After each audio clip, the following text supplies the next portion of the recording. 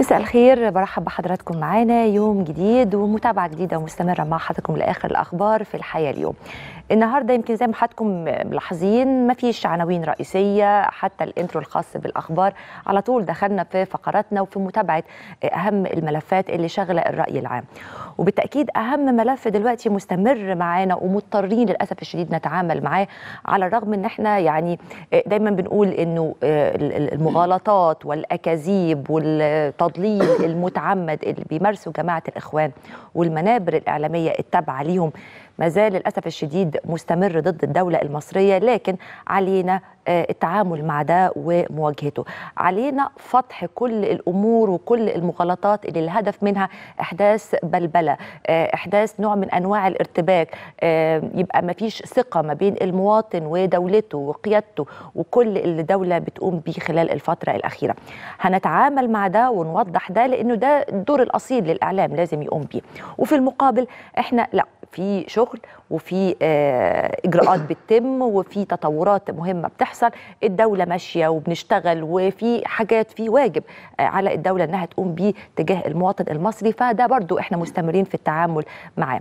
النهارده كان في كلمة مهمة للرئيس عبد الفتاح السيسي أثناء وجوده طبعا في نيويورك وحضوره الجلسة الخاصة بالجمعيه العامه للامم المتحدة لكن كمان على هامش هذه المشاركة وإحنا بنتكلم على ملف الرعاية الصحية والتجربة المصرية اللي بنباهي بيها العالم كله إن إحنا إزاي عندنا مبادرات مهمة في مجال الصحة عندنا إنجاز في التعامل والقضاء على فيروس سي إشادة من منظمة الصحة العالمية تعميم لهذه التجربة في القارة الإفريقية وفي أي دولة بتعاني من نفس المرض ده. فالرئيس النهارده كان في جلسة متعلقة بالرعاية الصحية شرح وده طبعا دور مهم جدا إن الرئيس وإحنا بنتكلم على مشاركاته في أي محفل دولي بيبقى حريص على إنه يوضح حجم التطور والإنجاز اللي بيحصل في الدولة المصرية قدام الجميع سواء بنتكلم بقى على الرعاية الصحية أو في الملف الاقتصادي وجذب استثمارات جديدة. النهارده كمان إحنا منتظرين كلمة الرئيس عبد الفتاح السيسي في قمة المناخ وهنتابع طبعا أول ما ده يكون إن شاء الله متاح مع حضراتكم. خلوني أرحب بضيفنا اللي مشرفنا النهارده في الحياة اليوم من بداية الحلقة الكاتب الصحفي أستاذ بلال الدوي مدير مركز الخليج لمكافحة الإرهاب. مساء الخير أستاذ بلال. مساء الخير واهلا بحضرتك واهلا بالسادة المشاهدين. إحنا بنستعين بيك لأنك أنت موسوعة في الموضوع هنتكلم فيه. يعني تاريخ جماعة الإخوان وأكاذيب هذه الجماعة ومنابرهم. في الماضي وفي الحاضر والاستمرار في هذا النهج. فعايزين نوضحه للمشاهد الكريم اللي بيتابعنا. لكن في الأول أستأذنك لأنه النهارده في تطور مهم الحقيقة. فاكرين لما اتكلمنا عن الفبركه الخاصة بأحداث الثورة المزعومة اللي قالوا عنها؟ الفيديوهات اللي غيروا فيها وركبوا صوت وفيديوهات قديمة. وطبعا الكلام ده كان في تعامل معاها من قبل الإعلام الدولي. وفي بعض المنابر الإعلامية اللي خدت عن الأناضول وخدت عن قناة الجزيرة وبعد كده رجعوا واكتشفوا حجم الخطأ اللي ارتكبوه واعتذروا عنه. لكن النهارده بنتكلم بقى على عدد من المنظمات الحقوقية والدولية اللي أدانت بشكل واضح وقاطع الدور اللي بتقوم بيه قناة الجزيرة والقنوات اللي معاها. آه بنتكلم على المنظمة العربية لحقوق الإنسان في بريطانيا وأوروبا. بنتكلم كمان على الرابطة الخليجية للحقوق والحريات بنتكلم على المنظمة الإفريقية لثقافة حقوق الإنسانية. هذه المنظمات أدانوا اولا. لغة التحريض الصادرة من إعلام قطر وإن دعواتها التحريضية لبث الفوضى والإرهاب والعنف بشوارع مصر. وقالوا إن هذه اللغة هتسبب في انتهاك للأرواح والحقوق الإنسان والأملاك الخاصة والعامة وعدم احترام قناة الجزيرة المملوكة للحكومة القطرية للشفافية والمصداقية والقواعد العالمية للخبر.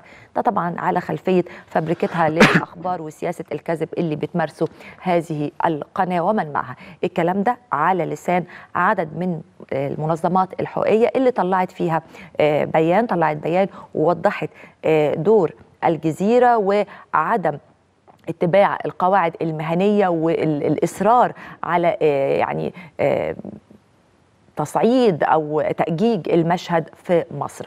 آه، معانا تقرير هنتابعه مع حضراتكم لكن أنا زمايلي بيقولوا الأول في زميلنا العزيز خالد أبو بكر هو جاهز معانا دلوقتي علشان من المهم نتابع نشوف إيه اللي بيحصل في نيويورك وطبيعة اللقاءات اللي قام بيها الرئيس عبد الفتاح السيسي في الساعات الأخيرة. مساء الخير يا خالد أهلا وسهلا بيك. ويعني كلمة معاك وقول لنا إيه اللي بيحصل وإيه اللي حصل في الساعات اللي فاتت.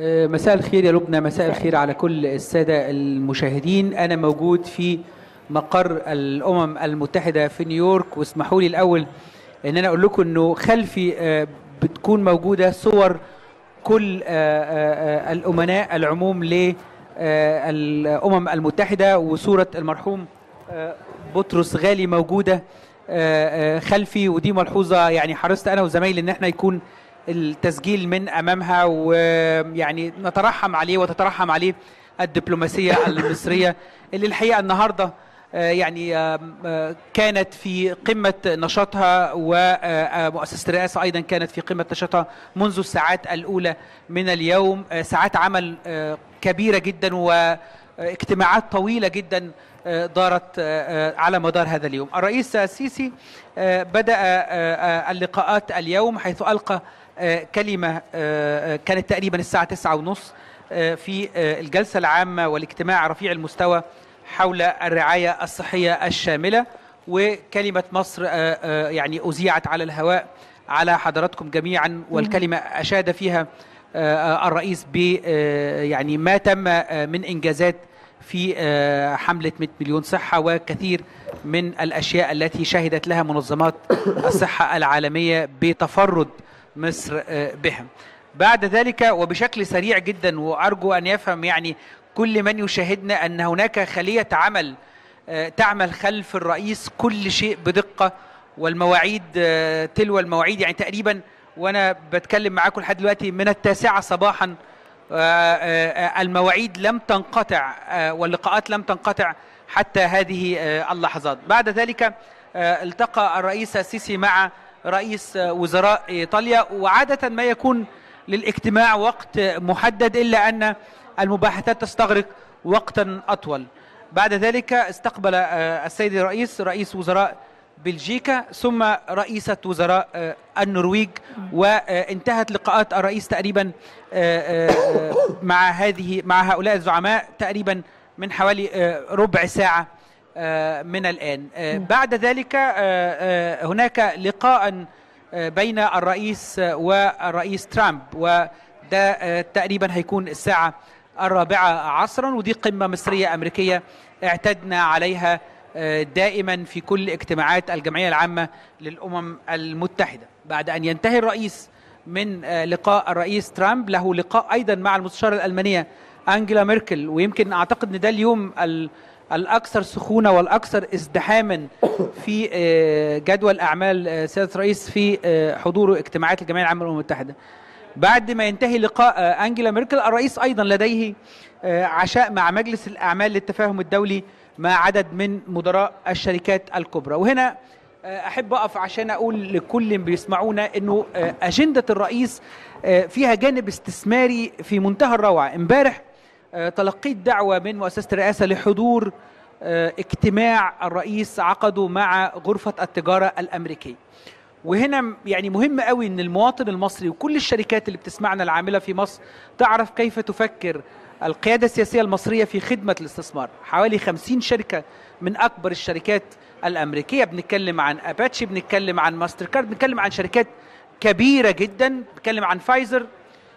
اللي لفت نظري أن الرئيس يتحدث مع كل رئيس و- وبينهم علاقة طويلة. يتحدث مع رئيس فايزر بعلاقة طويلة. يتحدث عن علاقات تربط مصر مع هذه الشركات الأمريكية الكبيرة. يتحدث عن آه، ماذا وعد به الرئيس منذ ثلاث سنوات آه، لأن هذه الاجتماعات كانت دائما مصاحبة لاجتماعات الجمعية العامة للأمم المتحدة. فأعضاء آه، غرفة التجارة الأمريكية بدا وكأن بينهم وبين الرئيس علاقة طويلة جدا وكانت لهم بعض المطالب الرئيس بدأ الاجتماع وسأل إن كانت هذه المطالب انتهت فكثير منهم آه، تحدثوا عن أن كل هذه العقبات انتهت وده أعطى انطباع جيد في بداية الاجتماع عن أن مصر تتقدم فيما يتعلق بموضوع إزالة جميع عواقب الاستثمار.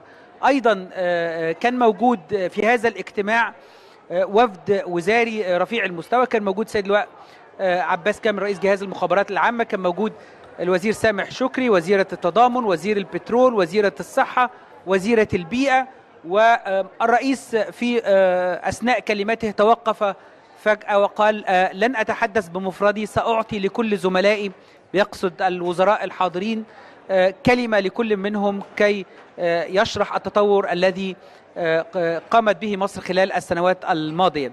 الرئيس استقبل كل الكلمات من الشركات الأمريكية بموضوعية شديدة جدا وكان يدون كل شيء. وترك انطباعا جيدا. الحقيقة اتكلمت مع أكثر من رئيس شركة من الشركات. الانطباع كان جيد جدا وإحنا الحقيقة يعني شهدنا دقة ورصد شديد جدا من سيادة الرئيس في كل جزئية تتعلق بأسئلة هذه الشركات. والرئيس عرض عليهم أيضا مشروعات زي استثمار في صناعة السيارات واستخدام الطاقة النظيفة زي الغاز الطبيعي. وأيضا كانت هناك شركة أمريكية كبرى صندوق استثماري كبير عرض على السيد الرئيس الاستثمار في مجال محطات الكهرباء وأيضا تحلية المياه. بكل المعاني كان اجتماعا رائعا ومفيدا جدا فيما يتعلق بالشق الاقتصادي. اليوم نفس الموضوع في اجتماع تقريبا الساعة سبعة ونص. سيادة الرئيس داعي أكبر مدراء تنفيذيين للشركات الأمريكية.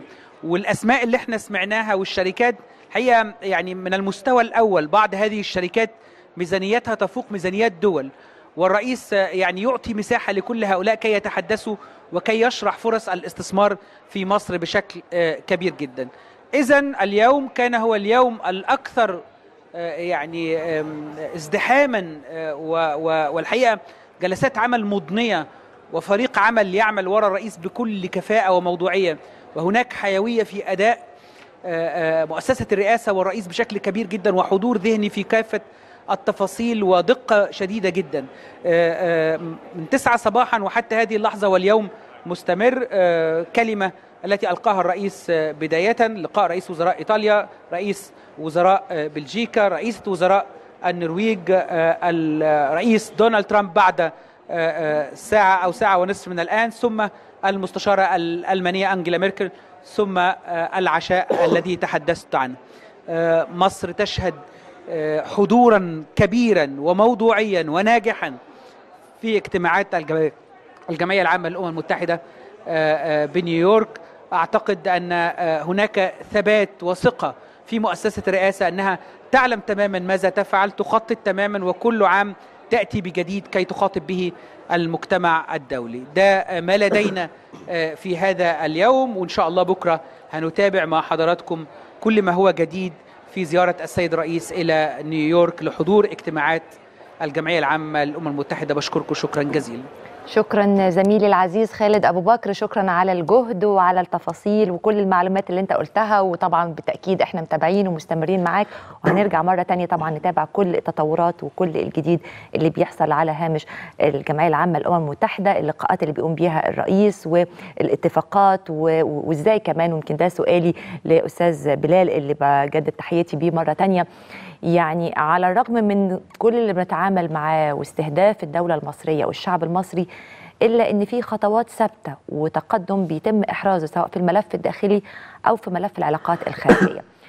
هل ده اللي, اللي, اللي بيأكد أو اللي بيخلي المحاولات دي تكون مستميتة أكتر؟ يعني مع كل نجاح مع كل إنجاز بنلاقي النبرة تعلى الاستهداف يبقى أقوى؟ اولا أنا أنا بشكرك على المقدمة الجميلة اللطيفة اللي بتقول إن يعني أنا أمام مذيعة فاهمة واعية الكلام اللي بتقوله كويس المقدمة الجميلة اللي بتلخص الوضع بالظبط اللي مصر فيه. كتر خير فعلا إحنا إحنا عندنا وعي والشعب المصري عنده وعي كبير جدا. وده اللي إحنا شفناه في آخر 10 أيام أو في آخر أسبوعين.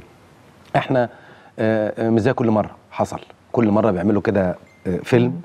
وعايزين يأكلوا الشعب ليه كده والشعب يصدق ولكن الشعب كان تصدى الشعب كان البطل في في الأسبوعين اللي فاتوا دول. في حاجات كتير اتقالت في شائعات في فبركات وأخيرا اللي حصل يوم الجمعة أنا شايف إن الشعب كان عنده يقظة غير عادية وكان خلاص الموضوع بالنسبة له معروف ومفقوس ومش هيحصل تاني. ولا أحداث 25 ولا هنسمح إن الاقسام الشرطة تت- تتحرق أو الاعتداء على المحاكم أو اقتحام السجون. لا الشعب كان يقظ جدا جدا جدا. وإحنا طبعا بنقول إن آه، خلاص إن الشعب دلوقتي بقى هو اللي بيتصدى الإخوان. يعني الكلام ده من زمان. إحنا بنقول بعد فض اعتصام رابعة آه، كان ولاد كده تبع جماعة الإخوان موجودين كل خمسة عملوا تنظيم وطبعا في سلاح وفي فلوس وكان خيرت الشاطر بينظم الولاد دول وأسامة ياسين. وطبعا الولاد دول كانوا بيعملوا عمليات إرهابية.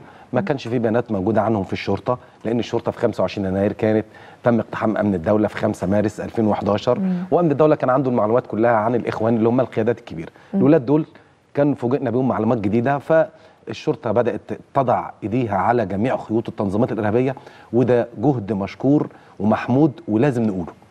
لازم نقول كمان إن ال- الولاد اللي طلعوا عملوا لنا العمليات الإرهابية دي كلها الشعب كان بيشوف. الشعب شاف على الهواء مباشرة عملية اغتيال النائب العام المحترم الشهيد هشام بركات. وبناء عليه الشعب شاف رمز العدالة بيتم استهدافه من أولاد اعترفوا في النيابة. اعترفوا اعترافات تفصيلية. طيب النتيجة إيه؟ يجي يعترفوا في النيابة؟ عناصر الإخوان اللي هم الولاد الصغيرين دول اللي كانوا موجودين في الجامعات ولمهم خالد شاطر وبيدعمهم في الفلوس. ونفاجئ نلاقي الإخوان بره الهاربين يقولوا كلام عكس اللي قالوا الولاد في اتحاد النيابة وبناء عليه اللي خدوا أحكام قضائية نهائية فيه. فده كذب يعني طب نصدق مين- استنى عشان يبقى الكلام موثق خلونا نشوف الاعترافات الصوت والصورة اللي كان بلال بيتكلم عنها مرة تانية واللي بعد كده بيتم التراجع عنها أو يتقال آه، لا والله يعني ساعات كمان بيكون في يعني متاجرة بالدم أو متاجرة حتى بأي موقف ده بأي طلعوه كمان ده شهيد. آه. طلعوه شهيد. آه، بيقولوا آه. الشهيد محمود الأحمدي. بالظبط. وهو إرهابي. إرهابي عتيد يعني. واعترف. نسمع واعترف. مع حضراتكم آه. يحيى موسى بلغني أو كلفني بعد كده. طلب مني آه، أنا ومجموعة إن إحنا نستعد لتنفيذ عملية نختل فيها النائب العام. وربطني بعد كده آه، على اللاين بواحد اسمه أحمد جمال اسم الحركة بتاعه علي آه، وده مسؤول مجموعة الرصد. دكتور يحيى موسى واداني عنوان شقة في الحي الثالث في مدينة الشيخ زايد. قعدت فيها 15 يوم. بعد كده جه عليا محمود الأحمدي لو الاسم الحركي المحمدي آه، بعد كده كلفنا الدكتور يحيى موسى إن أنا هكون مسؤول عملية كبيرة. قابلت أحمد جمال ورحنا منطقة سكن النائب العام في مصر الجديدة. آه، نزلنا أنا وهو درسنا المنطقة وشفنا المنطقة كويس. وبلغت خالد آه، باللي شفناه آه، فقال لي خلاص هننفذ آه، العملية ب- بعربية مفخخة. الدكتور يحيى موسى واسمه الحركي خالد كلفني إن أنا أشتغل معاه في العمليات النوعية وكلفني إن أنا أحضر دورة عن آه، تفجي... عن تصنيع متفجرات وكلفني إن أنا أشتري عربيات. آه، وكنت العربيات بشتريها عن طريق بطايق آه، مفقودة باخدها من مكتب البريد. وكان بيبعت لي الفلوس عن طريق واحد آه، إخواني اسمه أحمد.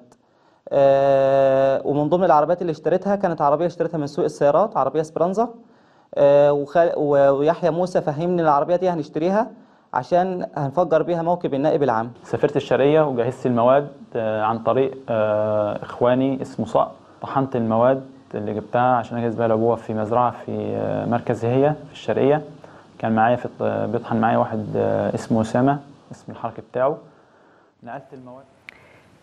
اعترافات تفصيلية زي ما حضراتكم متابعين معانا يعني بكل التفاصيل الكلام عن ال ال بيراقبوا البيت إزاي التحركات إزاي العربية اللي تم استخدامها صور المتفجرات والأسلحة يعني ما هو ده اللي صنع. المتفجرات ده اللي صنع المتفجرات. الأستاذ الأستاذ الإرهابي أردوغان طلع وقال لك ده شهيد محمود الأحمدي ده شهيد. لأن الولد محمود الأحمدي كان في المحكمة قال لك إن أنا اتعذبت.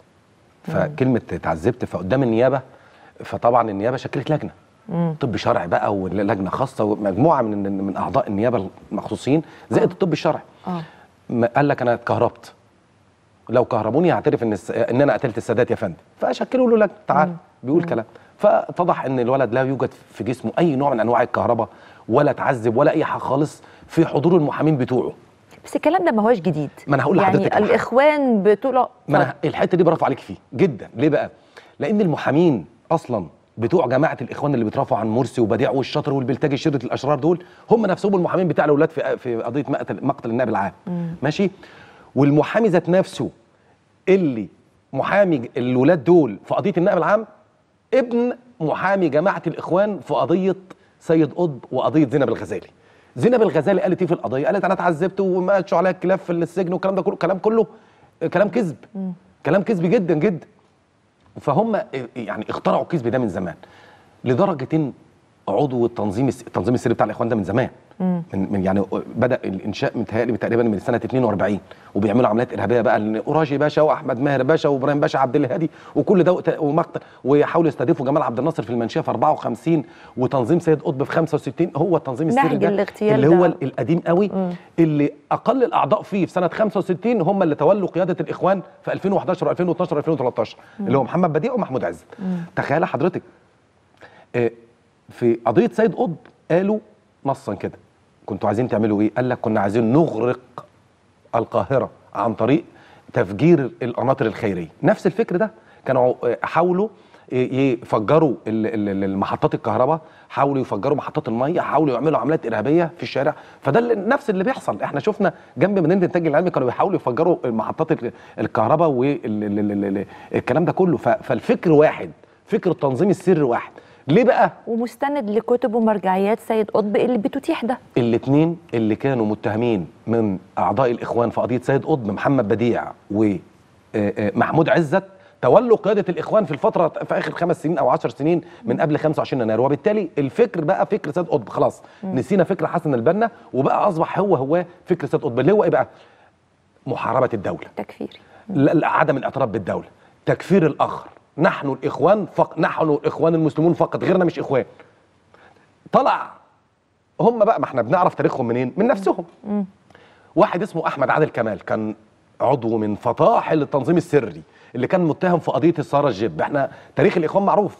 لقوا السيارة جيب كده في الشارع فيها سلاح. نفس اللي حصل واد محمود الاحمدي بيقول أهو إحنا جبنا وحطيناها في سيارة ورحنا جهزناها في الشيخ زايد ووصلناها للولاد قدام نادي السكة وسلمناها له. واحد يسلم لواحد عشان ما يعرفوش بعض خلايا. آه. يعني ده خمسة بس مع بعض ما يعرفوش غير بعض. آه. وكده فالناس مهمتهم يجيبوا العربية وجهزوا فيها المتفجرات وناس مهمتهم ياخدوا العربية ويسلموها الناس قدام الناس حاجات كده يعني تنظيمات توزيع. أدوار. آه توزيع أدوار. وبالتالي أحمد عادل كمال كان متمرس في القصة دي في التنظيم الدولي في التنظيم السري. عمل أحمد عادل كمال طلع كتاب في غاية الخطورة. كل الناس لابد إنها تقرأه. يعني اللي ما قرأهوش يقرأه. هم ناس كتير قرأته بس اللي ما قرأهوش يقرأه. اللي عايز يعرف تاريخ الإخوان المتطرف. الإرهابي العنيف اللي مش من دلوقتي القديم خالص. اللي إحنا بنشوف كوبي تاني منه. أحمد عادل كمال قال في كتابه إيه؟ لأنه كان عضو في التنظيم السري قال في كتابه إيه؟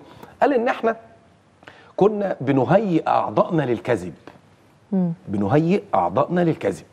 طيب اديني يا أستاذ أحمد يا عادل كمال نموذج للكذب اللي أنت كذبت وأنت وأعضائك. قال لك إحنا كذبنا ونشرنا مجموعة من ال ال ال الآراء الكاذبة كلها على المجتمع المصري والمجتمع المصري شربها. يعني إيه؟ قال لك إن إحنا قلنا للناس إن إحنا هنروح نجاهد في فلسطين. وعشان نجاهد في فلسطين لازم أعضائنا يتدربوا على السلاح سلاح. ورمي الضرب بالنار وتصنيع المتفجرات والكلام ده. قلنا ادعينا. يعني ما ما عملوش. مش حقيقي. آه. طب إيه القصة؟ قال لك إن إحنا كنا بندرب مجموعة من الأعضاء في المقطم بندربهم على السلاح وضرب النار وتصنيع المتفجرات في المقطم اتمسكوا الشرطة مسكتهم ساعتها. ولما مسكتهم الشرطة قدمتهم للنيابة. قال لك طيب، ده, قال لك ده عشان فلسطين. قال لك ده إحنا كنا بنتدرب على ضرب سلاح عشان فلسطين. ط- لهذا ده هو اللي بيقول ادعينا هم بس هم بيشرعنوا. الكذب. يعني آه يعني هم بيقولوا إن ده آه، آه، آه، أسلوب إن إحنا يعني نفدي نفسنا أو إن الكذب هنا مباح أو التقية اللي هم بيتكلموا عنها. بعض الأولاد أصلا أنا قلت لحضرتك بيعلموهم الكذب. يعني كون إن هو إخواني يبقى كذاب. يعني إخواني كذاب مش مسلم لا إخواني كذاب. هم تعالى حضرتك عارف عبد الرحمن يوسف القرضاوي ده؟ كتب مقال. ابن يوسف القرضاوي كتب مقال قال له أختلف معك يا أبي إن مرسي لا يصلح وإن جماعة الإخوان عملت كذا ولا تصلح للسلطة وتك تك كلام مهم جدا جدا. في أيوة. مقال معروف والناس تدخل تشوف. آه. دلوقتي بيقول نفس الكلام بيغير نفس الكلام بيغير الكلام بتاعه. طيب إذا كانت الإخوان لا تصلح للسلطة أنت عايزهم في السلطة ليه؟ يعني أنت عايز حضرتك 104 مليون يكون موجود على رأس السلطة فيهم رئيس جمهورية لا يصلح. بمناسبة كلامك ده التمسك بالسلطة والتهديد إنه لو ما حصلناش على السلطة هنحرق مصر. خلونا نفتكر مع بعض كده تهديد البلتاجي أثناء اعتصام رابعة وصفوت حجازي وكل اللي كانوا موجودين إنه آه، بيهددونا إنه هنحرق البلد هتشوفوا طبعا الكلام ده طب هو ده إسلام؟ طب ده من الإسلام؟ الدين المعاملة الإسلام ال- ال- المعتدل ال- الوسطي. أهو اتفضل. نتابع. الكلام ده لما بنعيده تاني كلام مستفز جدا إنه عشان الكرسي عشان السلطة أنت بتهدد شعبك أنت بتهدد إخواتك إنه دم وعربيات مفخخة وهنحرق البلد. فيمكن ده وإحنا بنربطه برضو بالحاضر دلوقتي إنه برضو في موضوع الجمعة اللي فاتت هم عايزين الدم. يعني لما كانوا بيقولوا كل ولا مظاهرات ولا أعداد أول ما يبقى فيه دم يبقى ساعتها كلام تاني. الدم دايما هو المفتاح بالنسبة لهم. هم أصلا يعني إحنا إحنا قلنا إخوان كاذبون. إحنا آسفين. لا هم إخوان كاذبون ودمويون. لازم الكلمة دي تكون معاها يعني كذب ودم.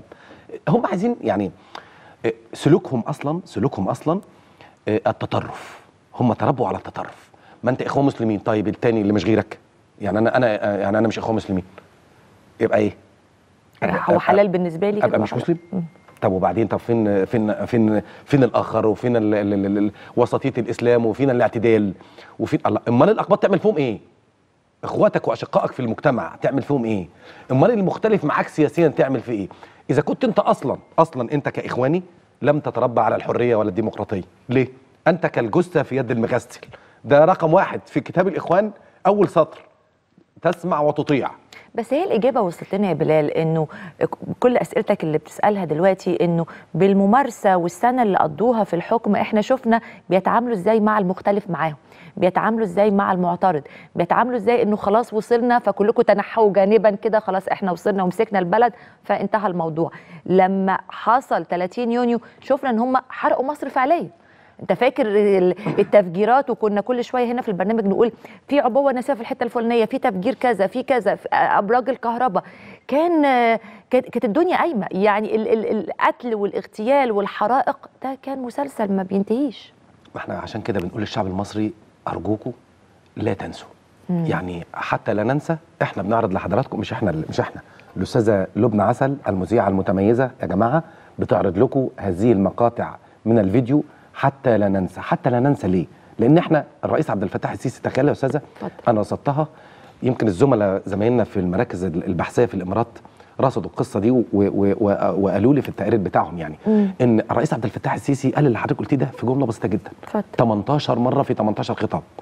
نحن أمام معركة البقاء والبناء. بنواجههم وبندفع الثمن وبنفدي روحنا عشان خاطر نحمي مصر من هؤلاء الأشرار. وبنبني البلد في نفس الوقت. أنا عايز أقول جملة بسيطة جدا. هو إحنا يعني آه، آه، يعني نتفاخر ونتباهى بالمشروعات والإنجازات والعاصمة الإدارية والعلمين وكوبري رود الفرج وقناه السويس وكل ده كله. والآخر نيجي نصدق جملة بتتقال على الهيئة الهندسية. لازم الشعب يعرف الكلام ده. هو إحنا بس شاطرين. نتباهى بالقصة دي وراكبين عربياتنا بقى وقافلين التكييف ومبسوطين ببلدنا والإنجازات اللي بتحصل والمشروعات وإيه الكباري دي وإيه الطرق دي وإيه الإنجازات والمشروعات والصوب الزراعية والمزارع السمكية وكل مشروعات بتفتتح قدامنا علنا على الهواء مباشرة. مش زي ما ناس تانية كانت بتحط حجر الأساس وموت يا حمار بقى لا مؤاخذة في الكلمة لأ. المشروعات بتفتتح قدامنا بنتباهى بيها وبنتفاخر. والآخر كلمة تتقال. يقول لك نطعن في الناس الشرفاء. لا وحتى هو ده اللي ما ينفعش تتفق أو تختلف تعترض. ما يكونش الحل إنك تهد إنك تهد خطوات إحنا عملناها عايزين نقول كلام واضح وصريح. مم. بعض القوى السياسية الآن تضع يدها في يد الإخوان. مش أنا اللي بقول. أنا- هم سلوكهم كده. لا. سلوكهم كده. خلينا في الحتة دي أنا ده كان سؤالي ليك حقيقة. آه. وإحنا بنتكلم بقى على الإخوان واللي بيعملوه دلوقتي. طبعا واضح إن خلال الفترة اللي فاتت كان في إفلاس. لأن هم كانوا بيحاولوا أكتر من مره يحركوا الشعب. وفاكر برضو يقول لك 11 11 وثورة الغلابة. ثوره وكان- عيل صغير كده ولد آه. اسمه ياسر هربان وعيل عبيط أهله تبروا منه فبيقول لك أنا هعمل ثورة غراب 11 11 آه. فكانت الدولة المصرية هي اللي كانت واقفة وكانت بتتصدى للإرهاب زي ما إحنا قلنا وبتبني المشروعات شغالة ما بتقفش. طيب هم بقى حاولوا خلال الأربع خمس سنين اللي فاتوا دلوقتي بيطلوا علينا بس بتكتيك تاني باستراتيجية تانية يا أستاذ بلال. يعني إيه، لما تتكلم على بعض القوى السياسية اللي تم استقطابهم وجوه برضو قديمه تم استدعائها وجوه جديدة تم بروزتها وصناعة منها أبطال. يعني برضو إيه الأيادي الخفية؟ إيه المخطط ده؟ يعني يعني يعني في في في خيوط تانية جديدة بيتم تطفيرها علشان يكرروا السيناريو تاني. ال- الكلام بقى اللي أساس الكلام اللي إحنا هنتكلمه آه. في ردنا على السؤال ده آه. إن الآن الدولة المصرية آه، يعني حصل نوع من أنواع اليقظة. مشروعات بتتبني والدولة صاحية وفي إنجازات بتحصل وفي معدل النمو ب 5.6 من 10 في المية والاحتياط النقدي 45 مليار مليار دولار وفي ال- البطالة بتقل وفي مشروعات وفي الدولة المصرية بتتمد في اكتشافات بترولية وكده يعني. فهم يعملوا إيه؟ هم على الأرض مفيش قدامهم أي حل إلا حاجتين الشائعات والكذب. ال- الجهاز الأمن ال- الوطني قدر بكل قوة إن بعد فترة من الفترات قدرنا قدر جهاز الأمن الوطني إن يضع إيده على جميع خيوط التنظيمات الإرهابية. زي ما شفنا في المطرية امبارح ولد عضو في حركة حسم. هي دلوقتي الكل الجهود الامني متوجه نحو حركة حسم. تم القضاء على زعيم التنظيم اللي هو محمد محمد كمال في شقة في البساتين. تم القضاء قطع التمويل عن طريق ال- ال- ال- الصحوه اللي حصلت في غسيل الاموال في البنك المركزي آه. والقبض على قيادات هنا وقطع ال- ال- الخطوط الاتصال بينهم وبين آه، التنظيم اللي في الداخل والتنظيم في الخارج. تمام. وده اللي قاله نص تحقيقات نيابة أمن الدولة في القضية اللي هي 314 آه حركة حسم. قالوا إن إحنا لنا أذرع في الخارج اللي هو يحيى موسى اللي اللي الولد قال عليه دلوقتي اللي كان متهم في قضية اغتيال النائب العام يحيى موسى القائد الكبير بتاعهم. ف آه، ومعاهم كمان علي بطيخ ومعاهم كمان جمال حشمت ومعاهم آه، أحمد عبد الرحمن. أحمد عبد الرحمن موجود في الفيوم آه، هو كان هو موجود في دلوقتي في تركيا هارب وهو أصلا من الفيوم من سنورس. فعشان كده التنظيم موجود في في في في, في الفيوم شوية. اعضائه وقرايبه وناس كده يعني. ف اي عضو من الأعضاء حركة حسم بيتم تتبعه. فخلاص الشرطة دلوقتي بقت متكفلة بحركة حسم. طيب. والدولة شغالة والمشروعات شغالة والمدارس بدأت وخلاص ما فيش حاجة خالص. عجلة الإنتاج لا تتوقف. والدولة ماشية في طريقها نحو ال- البناء. ال ال طب هم فين على ارض الواقع؟ ما فيش. قال حاجتين شائعات فيسبوك وتويتر وإعلام خارجي. إعلام خارجي القنوات الإرهابية اللي بتتمول من آه، قطر وموجودة في آه، آه، طبعا موجودة في الدوحة وموجودة في تركيا. في تركيا وقناة اللي هي في لندن الثانية دي. وبناء عليه هم إعلام خارجي وكذب وكذب بين يعني كذب بين جدا موجود في ال- السوشيال ميديا. طب خلينا نرجع ونكمل كلامنا في المنطقة دي لكن آه، بمناسبة إعلامهم آه، فاكرين لما كانوا عاملين برضو الجزيرة مباشر مصر؟ يعني 24 ساعة ما لهمش حاجة. فبرضو في قناة على اليوتيوب آه، مباشر قطر اللي هو قاعدين لهم برضو. فمباشر قطر آه، بتوري برضو وبتبين إيه اللي بتقوم بيه آه، قناة الجزيرة واللي معاها الدور القطري تجاه الدولة المصرية. إزاي بيفبركوا؟ إزاي بيكذبوا؟ إزاي بيضللوا؟ نتابع ده مع حضراتكم ونرجع مرة تانية. أستاذ بلال الدوي مدير مكتب أو مدير مركز الخليج لمكافحة الإرهاب لسه مستمرين ولسه بنتكلم على الدور القطري على جماعة الإخوان واللي بي بيأيدهم وبيساندهم واللي بيوفر لهم كمان الدعم المالي غير الدعم الإعلامي. من شوية كنت بتقول إن بعض القوى السياسية أو تيارات بعينها تورطت لما كنا بنتكلم من شهور على خلية الأمل وباعترافات جماعة الإخوان نفسهم لما بنسمعهم في في, في قنواتهم بي بي بيدعوا دلوقتي إنه نتوحد كلنا انه ولا في ليبرالي ولا علماني وقصة طبعا لأن هم أنصارهم ومؤيديهم وتابعيهم المسألة قلت فإن هم بنشتري ناس تانية أو عايزين نوحد الصف دي دعوتهم ده معناه إيه؟ معناه إن إن إن ما زال حتى الآن مجموعة من السياسيين بينضحك عليهم. إحنا آه، يعني كانت أزمة مصر الكبيرة جدا لما مجموعة من السياسيين الكبار راحوا فيرمونت وقالوا إن إحنا عصير الليمون؟ آه عصير الليمون بقى وكلام ملوش لازمة. يدل إن هم ده إحنا مرينا بحاجات. سياسيين يا أقسم. بالله يتحاكموا في ميدان عام على ما ارتكبوه في حق مصر. أنت تعرف يا أستاذ يا ساس يا كبير تعرف إن الإخوان جماعة إرهابية منذ قدم الأزل وتروح فيرمونت تقدمهم. يا أستاذ يا اللي عامل نفسك ناصري وتقدمهم أنت اللي تقدم المؤتمر وتقول إن نحن مع جماعة الإخوان. يا راجل عيب عليك يا راجل عيب عليك. ده أنت السياسة يعني يعني السياسة ملعونة للدرجة دي؟ مش ممكن. أنا لما ألاقي دلوقتي قوة سياسية تطلع بيان تقول نحن أمام ما أعرفش انسداد سياسي وأمام ما أعرفش إخوان ولا بد من الخط... مين حسن نفع ده؟ أنا عايز أفهم الدكتور حسن نفع ده بيكتب إيه اللي بيقوله ده؟ إيه الكلام اللي بيكتبه في الشرق الأوسط في في القدس العربي؟ وبيقول إن لابد من خروج الناس من السجن. مين اللي يخرج للسجن؟ هو مين يقدر؟ مين التخين في البلد يقدر يخرج واحد من السجن يا فندم؟ ده سؤال. يعني هو مين اللي بيخرج الناس من السجن؟ النيابة. طب ما تروحوا للنيابة. فاكر لما عرضوا يدفعوا فلوس عشان يخرجوا؟ بمناسبة قصة الفلوس آه. إن كل حاجة بالفلوس. هم أنت كنت بقول لك كل واحد يدفع 5000 دولار. 5000 دولار. 5000 دولار. واحد بيكلمني بيقول لي إيه رأيك في القصة قلت له طبعا أنا ضد الكلام ده بس والله بالمناسبة هم كام واحد؟ قال لك 60000 قلت لهم كذب أصلا هم يعني عددهم قليل جدا.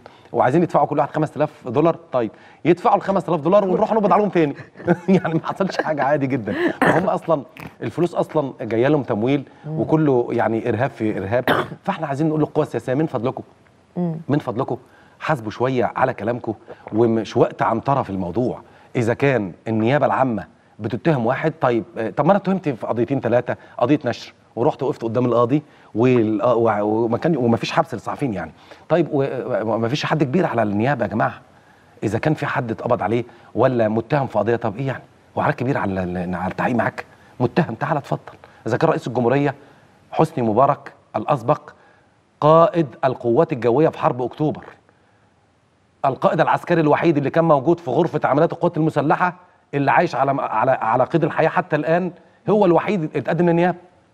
يعني أنا بتكلم على قيمته كقائد عسكري. مفهوم. هو الوحيد اللي ما زال عايش كان موجود في غرفة عمليات القوات المسلحة في 73 ده حاجة تاريخ كبير جدا طبعا. اتقدم للنيابة. ووقف قدام القاضي. هو حضرتك كسياسي يعني إيه سياسي؟ يعني تحترم الدولة. ليك حقوق اتفضل. عليك واجبات ستوب أنا بتكلم على أعضاء حزب الدستور. وحزب التحالف الشعبي. أنتوا ال- القيادات بتاعكم طلعت بيانات بتقول ان مش عارف إيه وايه حزب الكرامة تجميد وكلام كلام بقى يعني إيه هم شطار في الكلام ده يعني.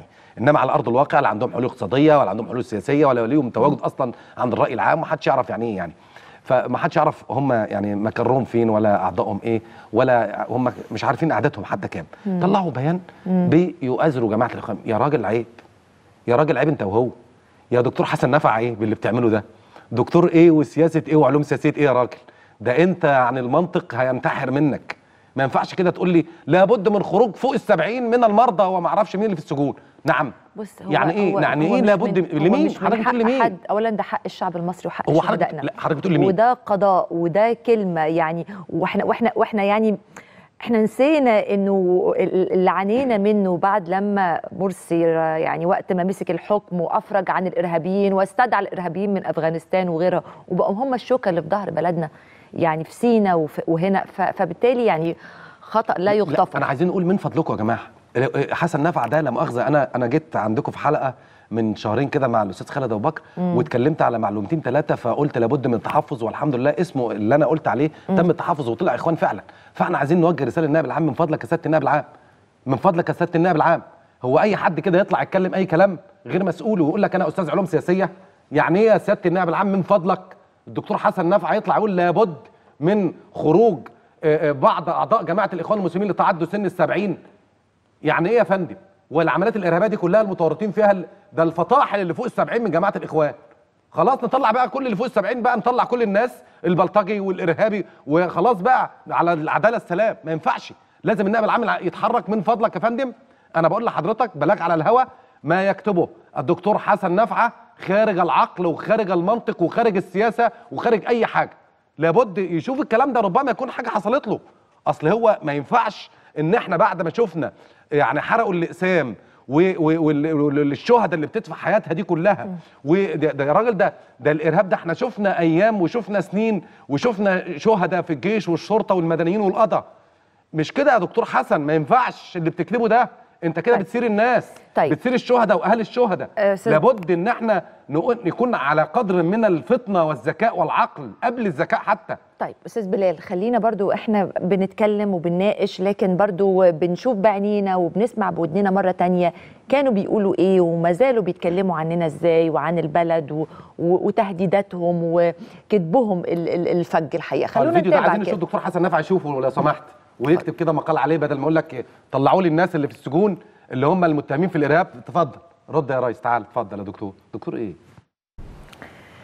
بمناسبة كلام يا ريت الدكتور حسن الشهيد. يكون شاف الكلام ده شاف الفيديو ده. طيب. ولو ما شافوش موجود على اليوتيوب. إحنا لما نتكلم إن ال- ال- البلد الحمد لله بفضل ربنا سبحانه وتعالى وإن في إرادة قوية لحماية البلد دي في وسط محيط من الأزمات اللي في المنطقة العربية. بلال استهداف أمننا. بمعنى استهداف المؤسسة العسكرية، استهداف الداخلية آه، محاولة تشويهها، محاولة آه، زرع يعني أملهم دايما بيقولوا في انقسام هيبقى في انقلاب داخل الجيش. اللعب على الوتر ده. إحنا إحنا إحنا إحنا بنتكلم إن خلاص جماعة الإخوان من أفسدت كل شيء. يعني ما عادش عندهم حاجة يخجلوا منها. الكذب وصل لأقصاه. هم لدرجة آه، آه، الادعاء على الجيش كلامهم مردود عليه. يعني إحنا أمام دراسة عملها ولد إخواني هو بيقول لك أنا دعوة سلفية والكلام ده كله بس هو إخواني يعني. أو هم كلهم واحد يعني من البطن الواحده يعني. اسمه أحمد مولانا. أحمد مولانا هم عاملين مركز دراسات في تركيا يرقصوا عمرو دراج. آه، آه، آه، يرقصوا عمرو دراج. أحمد مولانا كاتب في آه، آه، في المعهد ده دراسة عن حركة حسم بيعترف إن حركة حسم موجود جميع أعضائها إخوان. وبيعترف إن هم اللي قتلوا آه، آه، المستشار النائب العام. وهم اللي تورطوا في محاولة اغتيال الدكتور علي جمعة مفتي الجمهورية الأسبق ومحاولة اغتيال المستشار الجليل زكريا عبد العزيز النائب العام المساعد المحترم. وتورطوا في آه، حرق نادي الضباط بدمياط. وكمين مسترد وبعض 13 عملية إرهابية. هو بيعترف بكده. يعني بيعترف بالعمليات الإرهابية اللي عملوها أحمد مولانا. طيب هو حضرتك بقى بتقول إن هو مش ارهابي ليه؟ هو الدكتور حسن نفع بيقول مش إرهابيين ليه الاخوان وعايز يطلعهم ليه؟ الله هو الدكتور حسن نفع عايز إيه تاني؟ نثبته له إن الناس دي إرهابيين. إذا كانوا هم بيقولوا عن نفسنا إحنا إرهابيين. إذا كان ال- ال- البلتاجي قال إن إحنا أصلا تراجع عن 30 يونيو يا شعب مصر عشان الإرهاب في سيناء يقف. يعني حضرتك معاك الحنفيه حنفية الإرهاب معاك. بما إن هم معاك. يعني هو يعني إحنا عمالين نقول أمثلة على تاريخ الإخوان ال- الإرهابي. طب ما هو قدامنا أصلا إحنا شفنا شفنا هشام عشماوي وشفنا همام عطية أجناد مصر وهشام عشماوي تنظيم أنصار بيت المقدس وشفنا عمر رفاعي سرور. وشفنا النماذج دي كلها قدامنا. وشفنا الإرهابيين على حق الإرهابيين اللي هم إرهابيين يعني على صلة بعناصر تنظيم القاعدة. شفنا زي ما حضرتك قلتي إن مرسي أفرج على الإرهابيين خرج بعدها واحد منهم وطلع سوريا. بتعمل إيه في سوريا يا ابني؟ أحمد سلامه مبروك. قال لك أنا قائد الجنا... قائد الفتوى في جبهة النصرة. يا سلام. يعني شعب مصر محمد مرسي أفرج عن مفتي جبهة النصرة اللي في سوريا؟ إذا كان هم في الاستاد كان هو بيدعو بشكل مباشر للجهاد في سوريا. ما إحنا عايزين نقول للشعب بقى إحنا يعني- بنقول للشعب يعني آه. إذا كانوا هم بيقولوا عن نفسهم كده أصلا. يعني أحمد سلام مبروك ده خرج طلع فوجئنا أول مرة أبا أبا محمد الجولاني إن هو قائد جبهه النصره يطلع كان الأول بيطلع في قناة الجزيرة آه، ملثم لو حضرتك فاكرة أحمد منصور عمل حوار معاه مرة من الظهر ومرة حطه ملثم أول مرة يطلع بوشه أبا محمد الجولاني قائد تنظيم آه، جبهه النصره كان في المرة اللي طلع فيها جنبه أحمد سلام مبروك. القائد اللي قائد جبهة النصرة طلع مع أبا محمد الجولاني وجنبه أحمد سلام مبروك المفتي بتاعهم. من هنا بقى وارجع لسؤالي من هنا العداء واستهداف الجيش الداخلية إن هم مش عايزين يكون في آه، قوة منظمة ما يعني. حائط الصد م- بتاعنا مين؟ إحنا كلنا بنقول إن إحنا نفدي مصر بإيدينا بروحنا. يعني أنا فاكرة لما كانوا بيحاولوا يعملوا الميليشيات والكلام ده كله ده موضوع كبير. وال آه ده والكيانات موضوع كبير البديلة. جدا. ده موضوع كبير جدا جدا جدا. إحنا بنقول دلوقتي إن إحنا عايزين نفدي البلد بتاعنا. فهنطلع كلنا نحامي طيب. إذا كنا هنطلع بصدرنا كده ولا ما في؟ هم معاهم سلاح. آه. هيخلصوا علينا في الشوارع. طيب مين بقى اللي بتصد عن الشعب؟ زي ما الرئيس السيسي قال قال لما يخلصوا على الجيش والشرطة يعدوا علينا الأول وبعد كده يجوا الشعب. طيب مين اللي بتصدى ليهم؟ الجيش والشرطة. طب إيه اللي حصل؟ هم مش عايزين الجيش والشرطة. خلينا في الحتة دي بالذات برضو نقول للم... لل... ل- لأهالينا وإخواتنا الشعب المصري نقول لهم إن ال- الفكرة كلها كانت خيرت الشاطر. كان قدامه الخيوط كلها وهو اللي شايف إن الجيش والشرطة مع الشعب. فمن هذه الن- النقطة تقريبا في نوفمبر لما الناس خرجت الاتحاديه بعد الإعلان الدستوري الديكتاتوري التدريبات العسكرية الإعلان الدستوري. الديكتاتوري هو إحنا نسينا الإعلان الدستوري يا آه، جماعة؟ آه. هنقفل بقى بالمحاكم بالجنازير وخلاص اللي ليه قضية مرسي يصحى الصبح كده ده يعني هيحكم فينا ما هو متحصن. فإحنا آه، بعد الإعلان الدستوري الناس اتظاهرت الجيش والشرطة قال لك لا طب إحنا هنموت الناس إزاي قدام الاتحاديه ما ينفعش. نزلوا هم. خيرت الشاطر من ساعتها قال لك إن الجيش والشرطة هنتخلص من طب نعمل إيه؟ هو عايز يعمل إيه؟ واستجوبوهم فاكر آه، ال- استجوبوهم؟ آه، ما هو مشاهد هم الشرطة. التعذيب. قال لك نعمل شرطة موازية وجيش موازي. أيوة. يعني إيه؟ الشرطة كلها تبقى تبع خيرت الشاطر والجيش يبقى تبع خيرت الشاطر. هل يرضى عاقل بهذا يا جماعة؟ في حد يرضى؟ دكتور حسن نفع عايز الإخوان يرجعوا تاني عشان يبقى عندنا جيش موازي وشرطة موازية؟ طيب. عايز يبقى عندنا نفتح الأنفاق للإرهابيين يا دكتور حسن؟ يعني أنا مش فاهم إيه السياسة دي يا جماعة ولا هو بقى تخاريف واحد على المعاش عندنا عناوين كتير عايزين نرجع أنا عايز بس بعد إذن. حضرتك بعد إذن حضرتك أنا أحمل ن- اليك رسالة من آه، آه، أخويا الحاج ممدوح الدوي بيقول لي أنا مش عايز حاجة إلا حاجة واحدة الأمن ثم الأمن ثم الأمن بناء بناء على الجملة اللي قالتها. والدة الشهيد إن. هي بتقول إيه إحنا كنا فين وبقينا فين؟ آه. إحنا عايزين الأمن أقفوا مع الأمن. فإحنا بنقول نفس القصة دي لأن دي رسالة أنا حملتها لحضرتك يعني. لسه مع بعض ولسه هنكمل كلامنا. وفي ملفات وعناوين كتيرة ليها علاقة باللي بنتعامل معاه النهارده. ليه علاقة بإنه ليه مصر؟ ليه الإصرار على تكرار نفس السيناريو؟ سيناريو الفوضى والعنف والدم.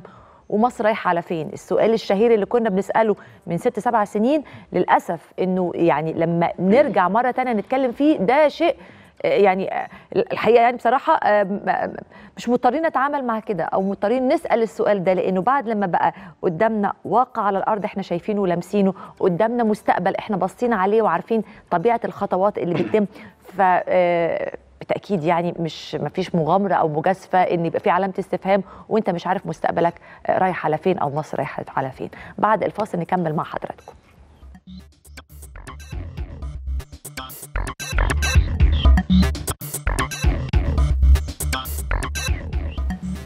نرحب بحضراتكم معانا مرة تانية. بنرجع نكمل موضوعنا. الدور القطري الإعلام المشبوه استهداف الدولة وابتدينا حتى كلامنا بعدد من المنظمات الحقوقية اللي طلعت بيان النهاردة أدانت في السلوك اللي بتنتهجه جماعة الإخوان أو قناة الجزيرة ويعني من معها من قنوات يعني في تأجيج المشهد في مصر في الفبركة وفي الأكاذيب اللي بيقوموا بيها. واتكلموا كمان على أنه بيطالبوا أن يكون في تحرك قانوني وتحرك كمان سياسي من قبل جامعة الدول العربية تجاه هذه الدولة وتجاه اعلامهم.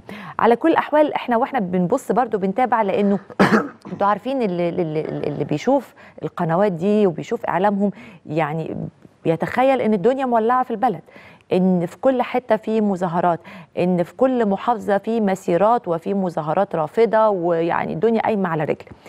الحقيقة بقى في آه تحرك كمان من قبل المواطن العادي انه لما بقى بيسمع الكلام ده بنشوف انه بينزل يصور.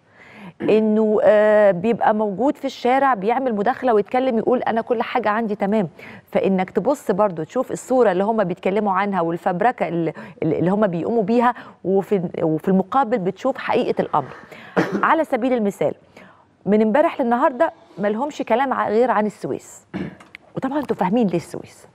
يعني أثناء 25 يناير لما المظاهرات نزلت والكلام ده كله والتحركات اللي كانت الدنيا كانت هادية وما فيش أول ما حصل سقط أول شهيد في السويس وتحرك أهالي السويس ساعتها الدنيا قامت وأصبحت بالفعل يعني المسألة خدت منحنى تاني. هم طبعا مصرين وعايزين الدم علشان المسألة تتصاعد. لكن عن السويس تحديدا بيقولوا السويس قايمة بقالها يومين. إحنا معانا فيديو عن السويس. ومن السويس والشارع السويسي وأهل السويس شايفين الوضع إزاي. نتابع.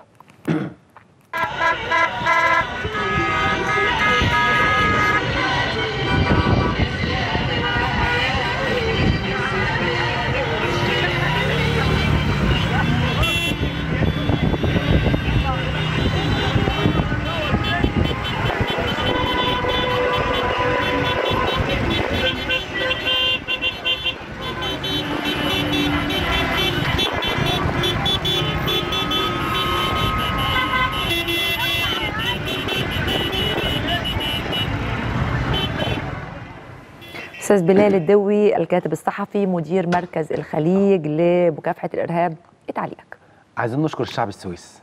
نشكر أهل السويس على اولا إن هم معروف عنهم إن هم بينفروا من جماعة الإخوان و و وكان لهم دور كبير فاكر جدا حظر التجول؟ حظر التجول؟ ما هي كانت هي دي بقى الشرارة اللي خلت كل الناس الناس بيلعبوا كورة. آه كانوا بيلعبوا كورة مع مع الجيش آه. لما الجيش نزل. أيوة. و- وده طبعا يعني ما ده آه، يعني جهد يعني لازم نشكر آه، أبناء السويس. وإحنا برضو بنتكلم في القصة دي. عايز أقول إن الشائعات مشهد جميل. الشائعات برضو وصلت للمحلة. آه. وميدان الشول لما قالوا هناك إن في مظاهرات ضد مش عارف مين وقبلها. الإسكندرية آه في ميدان الشول. مم. عايزين آه، يعني باعتبار إن أنا ابن من أبناء المحل. وأهلي في المحل. طب اطمنت بقى سألت أكيد أنت بقى. سالت طبعا. قرايبك وأهلك ميدان الشون ميدان. الشون تذكرت آه. كل أهالينا لما خرجوا وراحوا كلهم ميدان الشون للتظاهر آه، في 30 يونيو آه، من 28 و29 لحد 3 7 بيان 3 7 ميدان الشون العظيم الشاهد على ثورة 30 يونيو وخلع الإخوان وخلع مرسي وخلع مرسي الخاين وخلع المرشد. فميدان الشون هم بيقولوا إن كان في مظاهرات في ميدان الشون ميدان الشون زي الفل وأهل المحلة آه، معروفين بتماسكهم مع القوات المسلحة ومعروفين إن هم كان ليهم دور كبير جدا أكبر نسبة تواجد في الميدان آه، آه، الميادين في مصر في 30 يونيو كانت في ميدان الشون طبعا كل الأهالي خرجت ناس كتير خرجوا أعداد لا تتخيل. أنا أنا من وجهة نظري بقول إن يعني أنا بختلف مع الراجل اللي قال لك 33 مليون اللي خرجوا في 30 يونيو. لا 33 مليون مين؟ الناس كانت قاعدة على قضبان القطارات وموقفين كل الدنيا كانت واقفة. وعايز أقول جملة افتكرتها في القصة دي. الكذب. في واحد اسمه الكاتب الصحفي عبد الباري عطوان ده كان رئيس تحرير القدس العربي. خرج من القدس العربي بعد ثورة 30 يونيو بخمس أيام خرج وبدأ دلوقتي عمل موقع اسمه الرأي اليوم. أستاذ عبد الباري عطوان ده نفس الشائعات والأكاذيب اللي بتتقال دي هو بوق الإرهاب هو بوق الظلميين أنا مسميه كده. عمل إيه عبد الباري عطوان؟ بيكذب ضد الدولة المصرية. كان جاء مصر قبل ما مرسي يمشي بأسبوعين. بيحكي في مقال اسمه الجيش هو الحل. من فضلكم يا شعب مصر ادخلوا شوفوا المقال ده اسمه الجيش هو الحل. عبد الباري عطوان. عنوان المقال الجيش هو الحل. قبل 30 يونيو بأسبوعين بيقول أنا التقيت قيادات المجلس العسكري وقعدت معاهم وقعدت مع مرسي وهذا رأيي في مقال. رأيه إيه؟ أن الدولة المصرية هي الدولة رقم واحد في الاعتصامات في العالم. إن الشعب المصري سيرحب ترحيبا كبيرا جدا جدا 50 جدا بنزول الجيش في حالة طلب الشعب المصري نزول الجيش في 30 يونيو. محمد مرسي أصبح الطريق بينه وبين القوى السياسية والمعارضة طريق مسدود. أقسم بالله بيقول كده نصا. نصا. المقال بتاعه. ده بيقول حاجة تانية. بيقول إن الشعب المصري أصبح لا يطيق محمد مرسي وأصبح يكرهه أكثر من كره الشعب المصري لحسني مبارك. ده اللي بيقول ده مين؟ قبل ثورة خمسة قبل ثورة 30 يونيو. هو جه قبلها بأسبوعين قعد أربع أيام في مصر وكتب المقال ده. طيب إذا كنت أنت بتقول الكلام ده يا أستاذ عبد عطوان يا كذاب يا اللي بتكذب عايز الشعب المصري يعمل إيه؟ الشعب المصري قام بثورة وخلع الراجل المعزول الخاين ده اللي كان بيتخابر مع تنظيم القاعدة وكان بي... ودى الوثائق أمن الدولة ووثائق المخابرات العامة ووثائق القوات المسلحة ووثائق المخابرات الحربية لقطر بالفلوس. قام عليه. الشعب المصري وأطاح بيه في ثورة عظيمة جدا جدا جدا. ما زلنا حتى الآن بنقول إن نحن والان في تداعيات ثورة 30 يونيو العظيمة اللي أطاحت بحكم الإخوان. طيب كتب إيه بعدها بخمس أيام؟ في خمسة سبعة. كلام لا ينم إلا عن واحد إرهابي. جيناته كرات الدم البيضاء والحمراء كلها إرهاب. بيقول إيه؟ بيقول إن الإسلاميين مش هيسكتوا. وبحور الدم ستكون في مصر. وبناء عليه التفجيرات والتهديدات اللي كانوا بيقولوها هينفذوها يعني حضرتك مع التهديدات يعني حضرتك مع الإرهاب يعني حضرتك مع التفجير يعني حضرتك لا تدين التفجير يعني حضرتك لا تعترف بالحريات. مش أنت بتاع حريات مش أنت بتاع إعلام وحرية إعلام وديمقراطية. طيب هنعمل إيه؟ الشعب المصري نزل قال مش عايزه. وأنت اللي قلت إن الشعب كله معتصم أكبر نسبة اعتصامات. يا عبد الباري عطوان يا كذاب يا مرتشي يا اللي أنت اسمك أصلا في وسط الصحفيين عبد الباري دولار.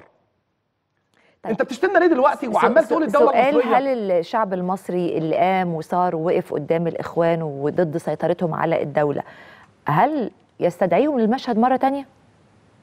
لا ما الشعب المصري كشفهم خلاص يعني ما فيش معطيات تتكلم الشعب عن كده أو المصري كشفهم خلاص التخين فيهم آه، آه، تافه طيب يعني الكبير بتاعهم لما, تافه. لما نتكلم بقى على مراهنة أو تحرك من يعني واضح الدور التركي ومن امبارح للنهاردة برضو في كلام جاي على لسان سياسيين أتراك ومعارضين أتراك بيفضحوا أو بيتكلموا عن طبيعة الدور التركي وليه معاداة الدولة المصرية وإنه إحنا فقدنا كتير فقدنا سيطرتنا في منطقة البحر المتوسط إنه لو الرئيس عبد الفتاح السيسي قعد مع أردوغان عشان موضوع الغاز هيتوقف كل شيء آه وهيتحل. البنت اللي كاتبة التويتة آه. دي آه. ده في كلام كبير جدا. إحنا دلوقتي آه، فده يقول لك في في في مصالح في خطط تانية بص بتاعت حضرتك أقول لك على حاجة. إحنا دلوقتي آه، آه، يعني في حراك موجود في إسطنبول في في في, في تركيا.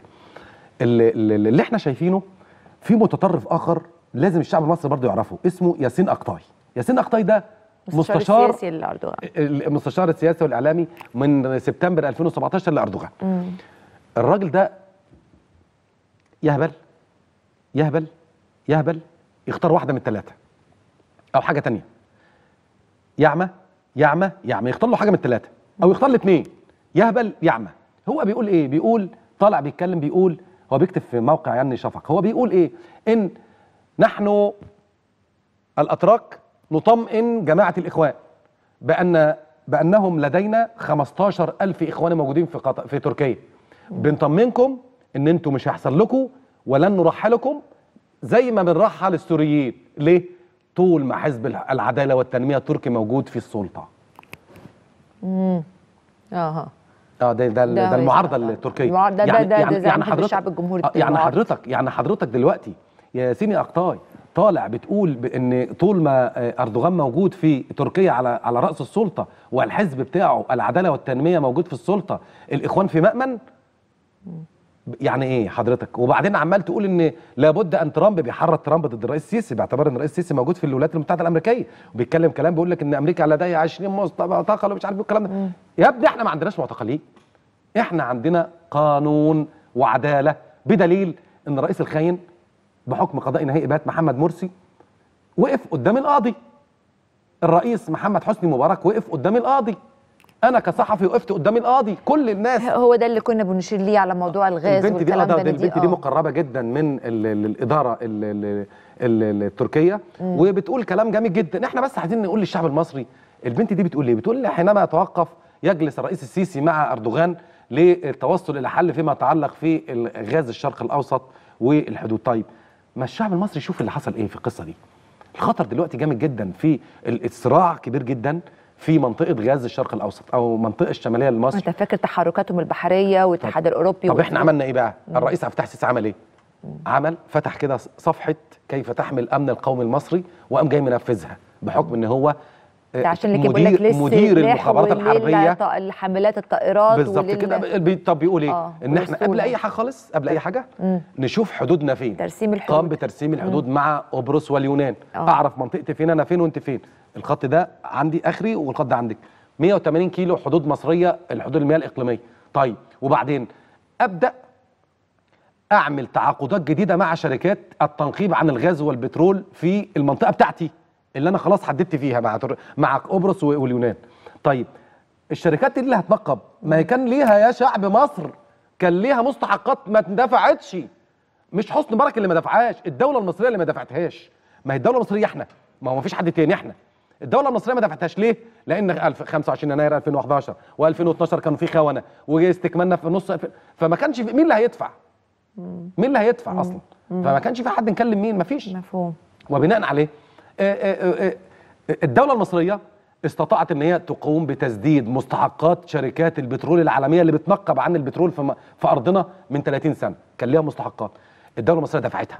آه. 8 آه. مليار دولار. آه. وأكتر. وصلت في اول دفعوا أول مرة 8 مليار وصلوا حتى الآن 25 مليار دولار. عشان بس اللي بيقول لك إيه الدولة المصرية بتعمل إيه؟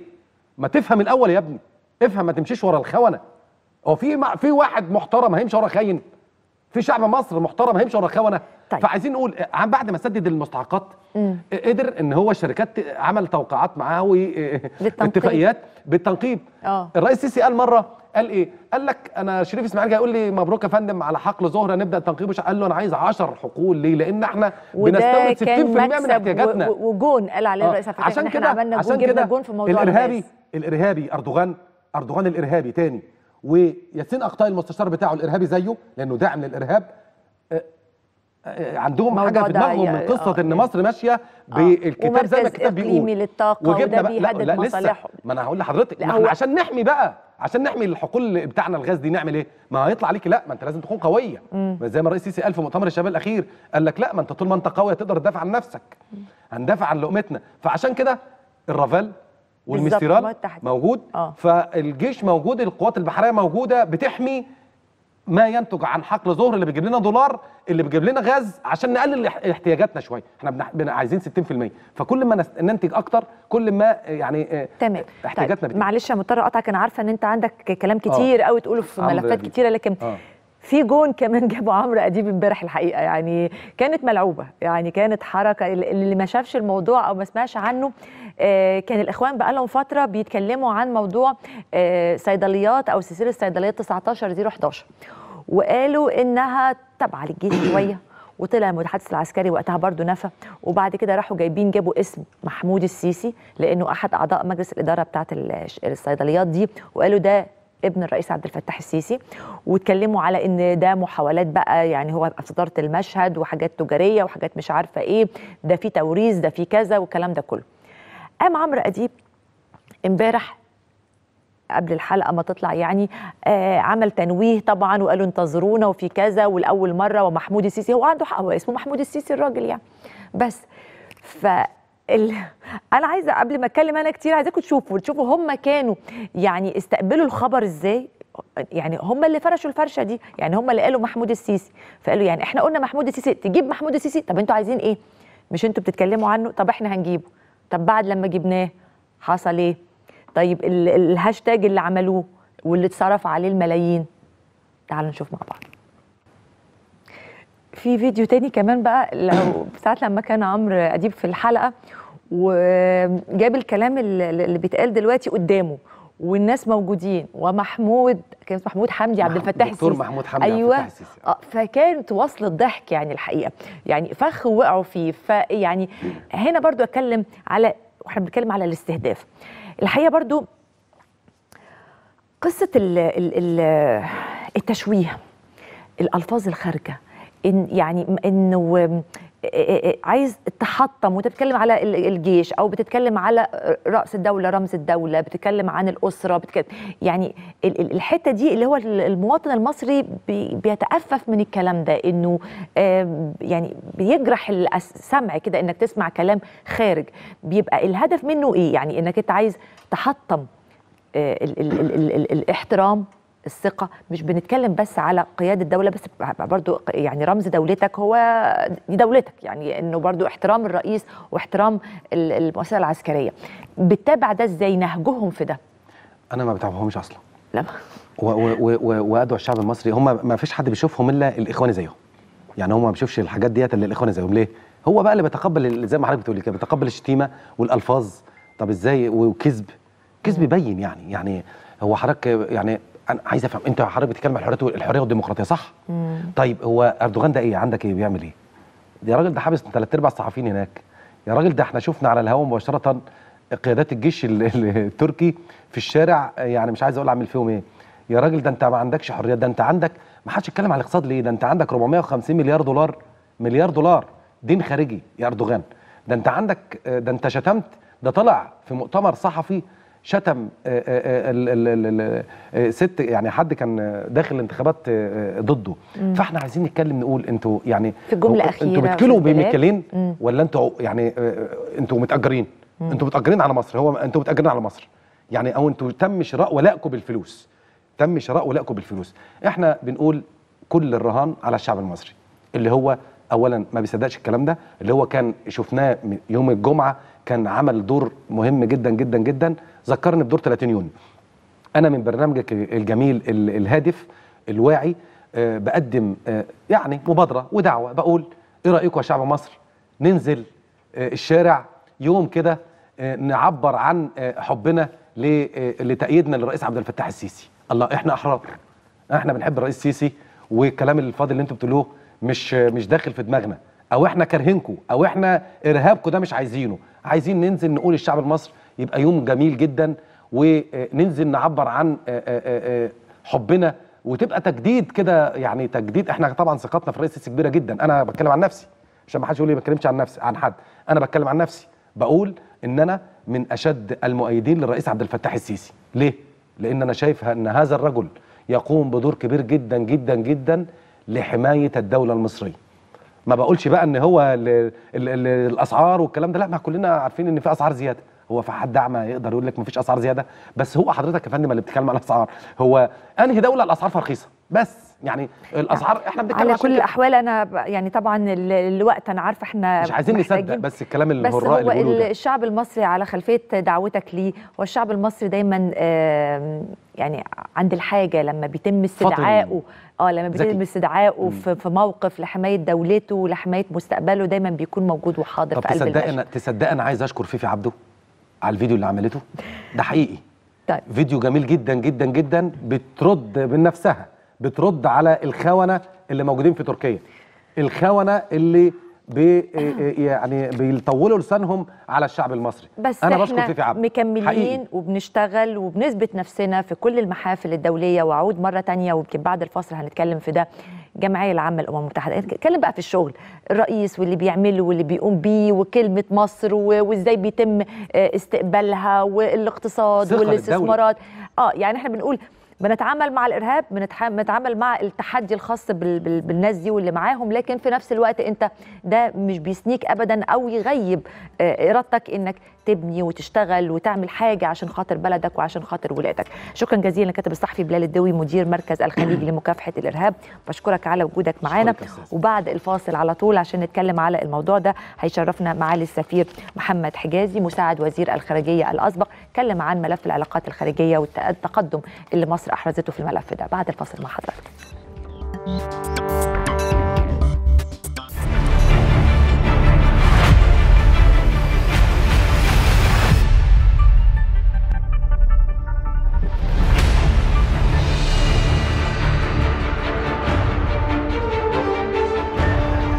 أمام المدارس ارتكزت الخدمات الأمنية وعلى بعد خطوات خدمات مرورية لتسيير الحركة المرورية.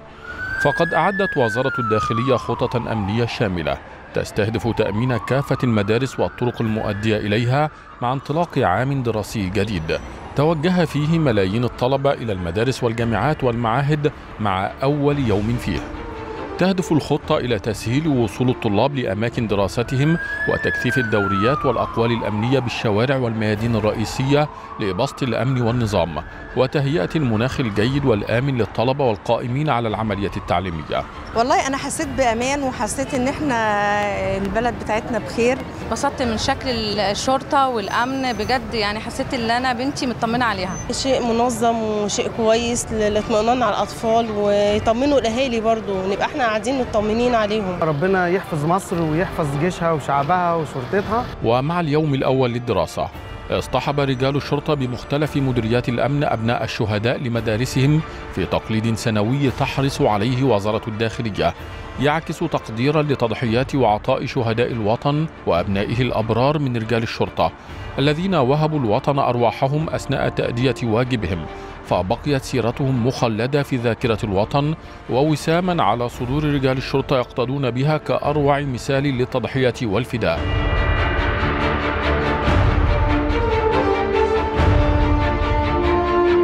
أبناء الشهداء كانوا موضع رعاية واهتمام من مسؤولي المدارس الذين استقبلوهم بترحاب. أكد تقدير واعتزاز الشعب المصري بتضحيات رجال الشرطة لحفظ أمنه واستقراره.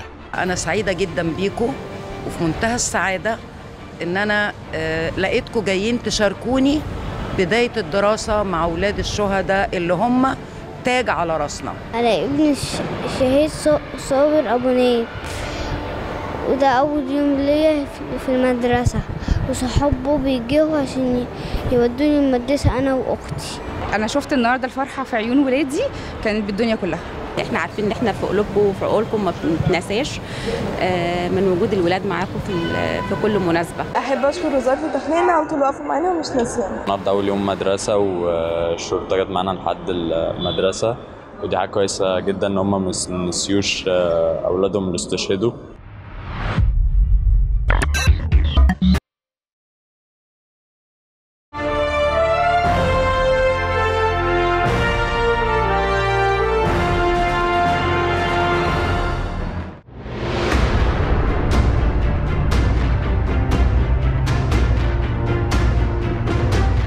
استهل السيد الرئيس عبد الفتاح السيسي نشاطه لهذا اليوم بالتوجه إلى مقر الجمعية العامة للأمم المتحدة حيث شارك سيادته في الاجتماع رفيع المستوى حول الرعاية الصحية الشاملة وألقى سيادته كلمة مصر في هذا الشأن والتي تضمنت عرضا لجهود الدولة لتوفير وتحديث الرعاية الصحية للشعب المصري وكذا جهودها لتعزيز الالتزام بتطوير الرعاية الصحية في القارة الإفريقية. كما استقبل السيد الرئيس عبد الفتاح السيسي رئيس الوزراء الإيطالي جوزيبي كونتي في نيويورك. السيد الرئيس تقدم بالتهنئة لرئيس الوزراء الإيطالي على إعادة تعيينه مجددا رئيسا للحكومة الإيطالية مشيدا سيادته بالعلاقات المتميزة تاريخيا بين البلدين في مختلف المجالات السياسية والاقتصادية والتنسيق والتعاون للتصدي للعديد من التحديات في منطقة المتوسط.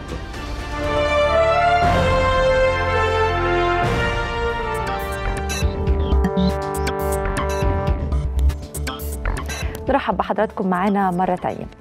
خلينا بقى في الشغل واللي بتحققه الدولة المصرية من إنجازات وخطوات ثابتة على الأرض وفي ملف العلاقات الخارجية تحديدا نقدر نقول إن مصر حققت إنجاز كبير وطفرة في طبيعة علاقاتها مع الخارج. بعد فترة كانت مصر يعني في فترة من الفترات كانت مصر منكفئة على نفسها وعلى شؤونها الداخلية وكانت مهتمة بده أكتر ما هي مهتمة إنها تعكس مركزها وقوتها في محيطها وبحكم المقاومات الجغرافية وموقعها الاستراتيجي وكل الكلام ده. لكن في الفترة الأخيرة بقينا بنشوف إن إحنا منفتحين على الجميع على الشرق وعلى الغرب بننوع في علاقاتنا وفي تحالفاتنا. وبعد فترة من العزلة الدولية أصبحت مصر موجودة وبقوة وبتدعى في كل المحافل الدولية. رؤية مصر في كتير من الملفات بقى ليها وزنها واعتبارها. حرصنا على المشاركة في هذه المحافل الدولية. أكيد في رسالة وفي مدلول من وراء ده رئاسة مصر للاتحاد الإفريقي خلت مصر تحمل هموم القارة الإفريقية في كل المنتديات الدولية اللي بتدعى ليها. إيه دلالة ده وأهمية علاقات مصر الخارجية سواء على المستوى السياسي وانعكاس ده على المستوى الاقتصادي ده هيكون محور حديثنا مع ضيفنا اللي مشرفنا النهارده في الحياة اليوم ضيفنا الكريم معالي السفير محمد حجازي مساعد وزير الخارجية الأسبق. مساء الخير يا معالي السفير أهلا وسهلا بحضرتك. أهلا بسيادتك. معالي السفير إحنا وإحنا بنتكلم مصر الرئيس عبد الفتاح السيسي بيشارك في أعمال الجمعية العامة للأمم المتحدة. وكان النهارده طبعا حضرتك أدرى برضو كان كلمته فيما يتعلق بملف الرعاية الصحية وإحنا منتظرين طبعا مشاركته في قمة المناخ. بشكل عام الرئيس من ساعة ما تولى المسؤولية هو حريص إنه يكون بيمثل الدولة المصرية بشخصه. لا يفيد أي شخص ولا يعني أي مسؤول.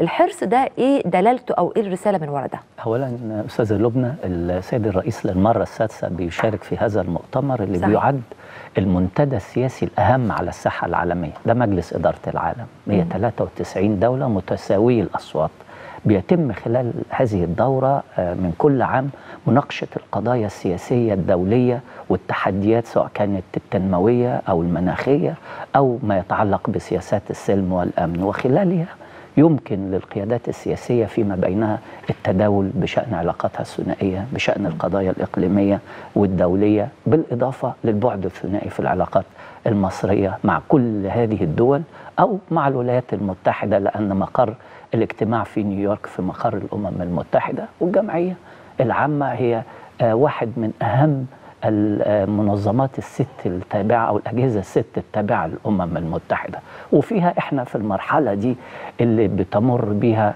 يعني المجتمع الدولي بنزاعات ومواجهات تجارية وصدامات مسلحة وإرهاب وهجرة غير شرعية بيأتي اجتماع بقى الدورة 74 آه ليؤكد على أهمية التعددية مم. أن نتشارك معا في مواجهة تلك القضايا مم. وكذلك يعني البعد الثنائي في هذه الزيارة الرئيس من الدورة 69 للدورة 74 بينقل صورة مصر اللي بتواجه الاضطرابات الداخلية اللي بتواجه عملية إصلاح اقتصادي اللي بتنجح في تحقيق الإصلاح الاقتصادي اللي بتواجه تحديات التنمية اللي بتشيل هموم المنطقة وبتواجه الإرهاب نيابة عن العالم وعن أوروبا لأن إحنا جنوب أوروبا. كل ما يحدث لدينا ما حدث في سوريا انتقل بملايين المهاجرين إلى أوروبا وبالتالي العالم كله مرتبط بمركز الاستقرار بمصر. مصر هنا هي دور هي مكانة هي دولة ذات مصداقية. بتنقل آراء يستمع إليها العالم فيما يخص الإرهاب. لدينا رؤية للمواجهة الشاملة ليست فقط أمنية أو عسكرية ولكن رؤية متكاملة أيديولوجية وثقافية تنموية. السيد الرئيس بكرة هيتكلم وأكيد هيكشف في كلمته مصادر تمويل الإرهاب والدعوة لموقف دولي لأن إحنا أمام المنظمة متعددة آه، وجهات النظر متعددة الأطراف أمام توجهات حمائية سواء كانت تجارية أو أمنية أو عسكرية وانسحابات من المنظمات زي البريكزيت فيما. يخص حالة بريطانيا أو القرارات أحادية الجانب من ترامب هل نترك المجتمع الدولي يسقط في فخ ثنائية أم نعود به إلى التعددية والحلول الشاملة للقضايا لأنها هي قضايا كلها عابرة للحدود. كل التحديات الدولية اللي بتناقشها القمة آه، أو الدورة الحالية ال 74 هي تحديات عابرة للحدود. المناخ ويتحدث عن الكوكب.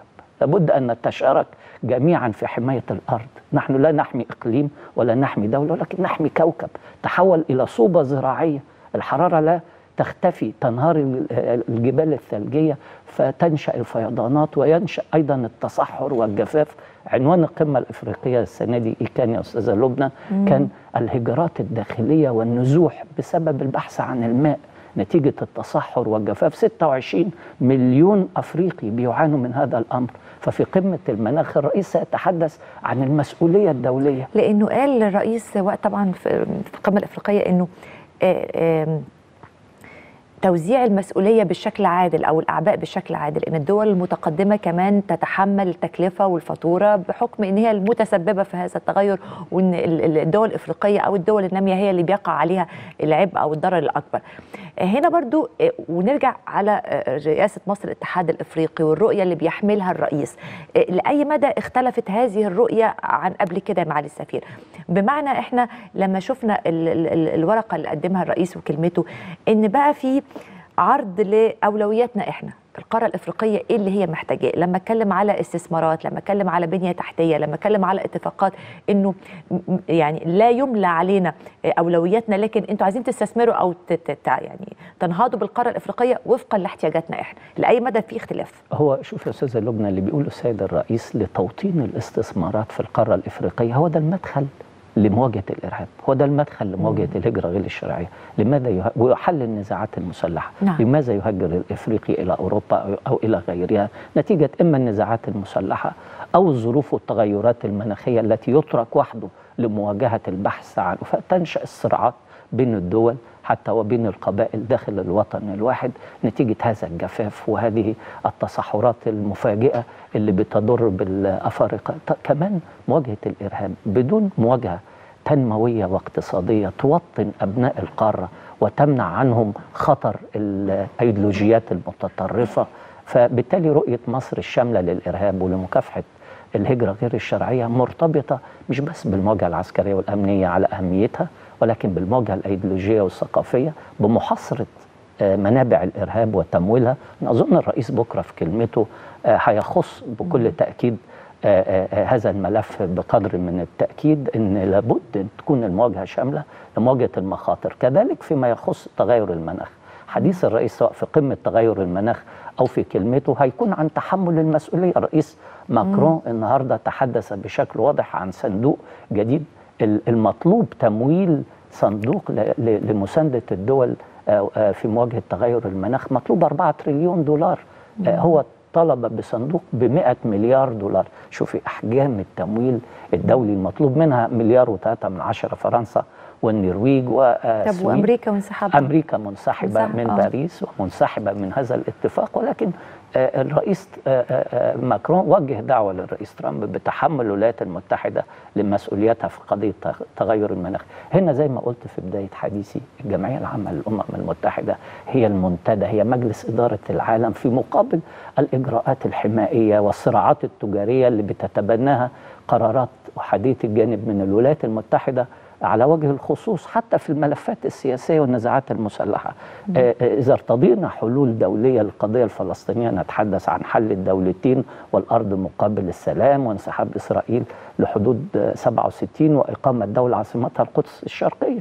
أما قرارات الأمريكية الأحادية تزيد الأمر احتقانا وتزيد صعوبة الموقف وتفتح المجال للأفكار الراديكالية والعنيفة. دي التوجهات الوطنية. لكن مصر متمسكة بموقفها ورؤيتها تجاه الحل للقضية الفلسطينية. طبعا أنت تذكري لما الولايات المتحدة اتخذت قرارها بالاعتراف نقل بنقل السفارة السفاره وبعدين وقفت. مصر في مجلس الأمن. آه. آه وأيد قرار المصري المقدم لرفض هذا القرار 14 دولة بما فيها آه، بريطانيا وفرنسا. يعني المجتمع الدولي آه، آه، بشرعيته بقراراته بقوانينه أمر لابد أن ندافع عنه. بالتالي الأمم المتحدة ومنظمتها هي ال ال ال الهوية وهي المظلة التي يجب أن ننضوي جميعا آه، تحتها لأننا جميعا نعاني من قضية واحدة سواء كانت قضية التغير المناخي أو قضايا الإرهاب أو الهجرة غير الشرعية هي كلها قضايا عابرة للحدود ومواجهتها لابد أن تتم بشكل جماعي. ده اللي بتعليه مشاركة الرئيس ومشاركة 193 دولة في دورة الجمعية العامة آه، من كل عام. طيب حضرتك في أول كلامك قلت لي برضو إنه من الأهمية آه، بمكان حضور الرئيس المحافل الدولية دي فرصة للقاءات الثنائية. بالفعل. يعني دي برضو يمكن ال ال ال البعض ما بيبقاش مركز عليها قوي على الرغم من أهميتها. نشرح ده يا معالي السفير إنه آه ال- التواصل الإنساني المصطلح اللي بقينا بنكرره كتير خلال الفترة الأخيرة هي الدبلوماسية الرئاسية. آه. آه لاي مدى بتسهل أو بت بتخلي العلاقات بشكل أفضل بتنعكس على ال- ال- ال- التعامل مع الدول وفي الملف الاقتصادي كمان. بس استاذن حضرتك يكون ده بعد الفاصل عشان هنروح فاصل ونرجع مرة تانية لمعالي السفير محمد حجازي مساعد وزير الخارجية الأسبق والحديث ما زال مستمر عن ملف العلاقات الخارجية. بعد الفاصل.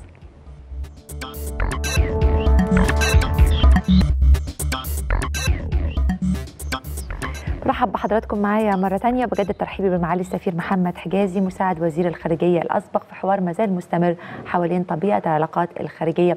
الإنجاز اللي مصر حققته في كتير من الملفات في الموضوع ده. معالي السفير كان سؤال حضرتك قبل الفاصل عن أهمية على هامش المحافل الدولية زي الأمم المتحدة ال- اللقاءات الثنائية اللي بيقوم بيها الرئيس مع كثير من الزعماء وقادة دول العالم. الدبلوماسية الرئاسية وتأثيرها وانعكاسها على كثير من الملفات ويمكن إحنا كمان أقول لكم سر بس أنا ومعالي السفير وقت الفاصل ربطنا ودردشنا إنه علاقة ده كمان وأهمية ده باللي بيحاولوا آه، أهل الشر إن هم يصدروه أو يتكلموا عنه أو يفبركوه والكلام ده كله ويصدروه للعالم إن في قلق ومشاكل في مصر وإن مصر المظاهرات والدنيا والدعوة إلى ثوره وما إلى آخره. هل ده الرد العملي أو إيه انعكاسه؟ يعني نربط إزاي بين الاثنين؟ إحنا عايزين نقول إن المشهد الخارجي اتفضل. هو دلالة على مكانة الدولة نعم. ومكانة رئيسها آه. وثقة.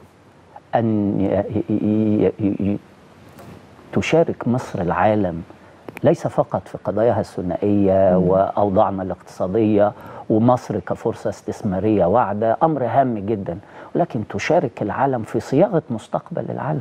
تتحدث عن الإرهاب وهي جزء من المواجهة الشاملة وتقدم أيديولوجية آه، آه، هامة لمواجهة آه، هذا الخطر. تتحدث عن الهجرات غير الشرعية الثقة بالنفس نعم. الثقة بالوطن الذي تعبر عنه ويستمع لك آه، الآخر. ومن الذي يستمع لك المستشارة الألمانية؟ ورئيس الوزراء الإيطالي والرئيس الأمريكي والرئيس الفرنسي أنت مكانة. لابد أن ينعكس هذا الإيمان وهذا الثقة وهذا الطموح على الداخل. أيوه. داخل لابد أن يكون مؤمن أن لديه دولة راسخة لم يعد دورها فقط دور مصري أو عربي أو إفريقي فقط. هي دولة تساهم في صياغة مستقبل العالم سواء كان الأمر يتعلق بالصحة أو يتعلق بالتغير المناخ أو يتعلق بالتنمية المستدامة أو يتعلق بتمويل التنمية. هو يتحدث باسم ال- المشروع القادم مشروع مصر مشروع المنطقة الهادئة الساعية من أجل إعادة الإعمار. أما الفلول وهؤلاء يعني أم- أمور يعني لا يجب الوقوف عندها كثيرا الانتباه إلى الوطن والتركيز حول القيادة والثقة. أنت يستمع إليك دوليا. مشهد الجمعية العامة والرئيس يتحدث اليوم في قمة الرعاية الصحية. هو مشهد يعكس ثقتك بالداخل ثقتك بأنك تستطيع أن تقود الوطن والمنطقة للأمام أمام آه، آه، آه، منهج آه، آه، تآمري عنيف آه، يقود المنطقة لما شاهدناه عبر السنوات من 2011 حتى 2014 علينا أن إحنا نصيغ هذه العلاقة ما بين رؤية العالم لك ورؤيتك لنفسك. عليك أن تكون أكثر ثقة أكثر إيمانا بوطنك أكثر كمان اطلاعا على طبائع الأمور.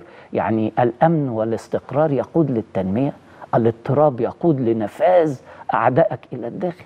التحصين تحصين الوطن من خلال العمل الداخلي والخارجي والإيمان بالنفس. آه، والثقة في المستقبل. أنت راجل عامل 7000 كيلو متر المثل الصيني بيقول لك ابني طريق تزداد ثراء. طب استنى شوف 7000 كيلو متر وازدواج قناة السويس والعاصمة الإدارية الجديدة واكتشافات الغاز والطاقة ومستقبل هذا الوطن الأكثر تعلما والأكثر ثقافة. شوفوا هيكون إيه. مش هيتحقق. إلا لو عندك وطن. والوطن آه، دي المسؤولية. آه، مش ال- القيادة السياسية فقط اللي يجب أن ترعاه. أنت يجب أن ترعاه بتصنيعك بإيمانك بإنتاجك بتصديرك. وشوف الصين من 40 سنة كانت إيه. أنا كنت في سنغافورة قريب. بقول لهم إحنا بننشئ عاصمة إدارية جديدة بستة مليون نسمة مستهدفة يعني حجم عدد سكان سنغافورة. وحجمها 700 كيلو متر هو حجم آه، سنغافورة. ده إحنا بنؤسس عاصمة إدارية جديدة. بلد. هتكون مثال آه، آه، لل- للمدن الذكية الحديثة. عايزين نستنى. في غيرنا مش عايزنا نحصل هذه الثمار. في غيرنا مش عايزنا نوصل لدرجة النمو وال- والنهوض بمقدراتي. في غيرنا عايز يربكنا ويوترنا. وانت عندك حلم وعندك مشروع. أنا نفسي نتشارك فيه بقى كلنا. ما يبقاش مشروع القيادة السياسية فقط. نتشارك فيه كإعلام وكصحة مسؤولية مجتمعية على الكل. مسؤولية مجتمعية وعمل وعمل جاد لأن الإصلاح الاقتصادي يا أستاذة لبنى هو هيكلة.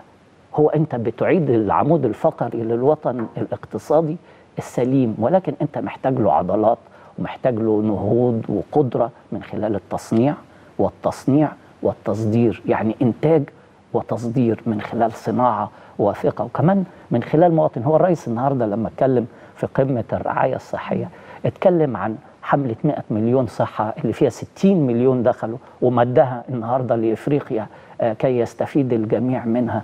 آه، انت هنا معنى إيه المعنى اللي انت بعته النهاردة في الرسالة اللي هي ثلاث دقايق؟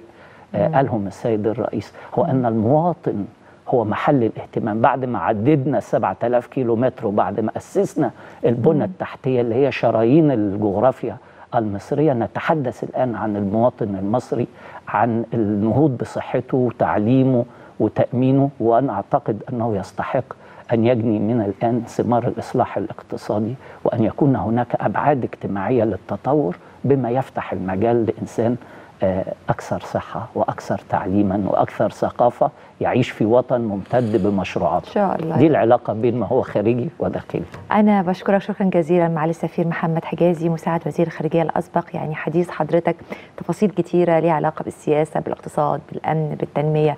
يعني كلها هموم وكلها لصالح الشعب المصري بالأساس يعني والمستقبل. وشكرا جزيلا على وجود حضرتك معانا. أهلا آه طيب قبل ما أختم مع حضراتكم لأنه عودة على اللي بدأناه برضو. الفبركة والإشاعات والأكاذيب والكلام ده.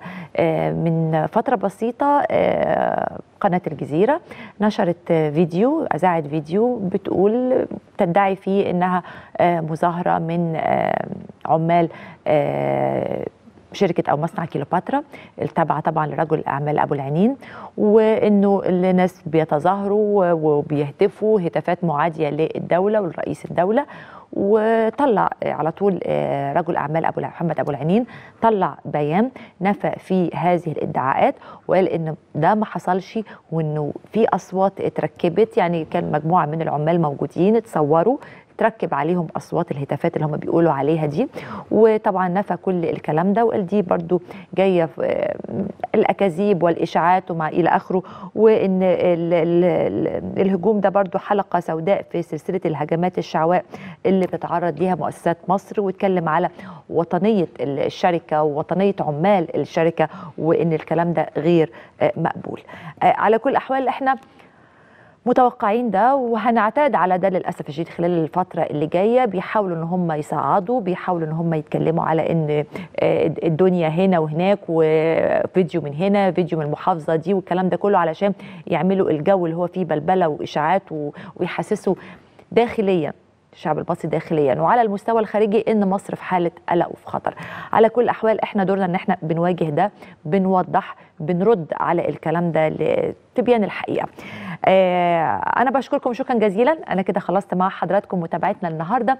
وبعد أو حالا دلوقتي هسيب حضراتكم مع لقاء عمله زميل عزيز خالد أبو بكر. طبعا عارفين وشايفين خالد بيتابع أعمال الجمعية العامة للأمم المتحدة وكان ليه لقاء هناك مع معالي السفير بسام راضي المتحدث باسم رئاسة الجمهورية. هسيب حضراتكم مع اللقاء وأرجع أشوف حضراتكم بكرة بإذن الله على كل خير. وبيسعدني إني أستضيف سيادة السفير بسام راضي المتحدث الرسمي باسم رئاسة الجمهورية. سيادة السفير بشكرك وشكرا على وجودك معنا النهارده. أهلا وسهلا بحضرتك وبالسادة المشاهدين جميعا. سيادة السفير عادة اجتماعات الجمعية العامة للأمم المتحدة مصر ب يعني تشارك بها دون أي غياب. يعني في كل السنوات الماضية شارك السيد الرئيس فيها. وتشهد أجندة السيد الرئيس عدة محاور منها سياسية واقتصادية منها عربية ومنها إفريقية. يا ريت حضرتك تلقي لنا الضوء على ال 48 ساعة اللي فاتت منذ وصول السيد الرئيس وحتى هذه اللحظة. هو الحقيقة زي ما سيادتك ذكرت هو الجمعية العامة طبعا هي أرفع منتدى وأرفع فورم زي ما بنقول عالمي سنوي. بيجمع جميع قادة الدول وزعماء العالم من رؤساء دول ورؤساء حكومات وملوك. الحقيقة يعني محفل هام جدا.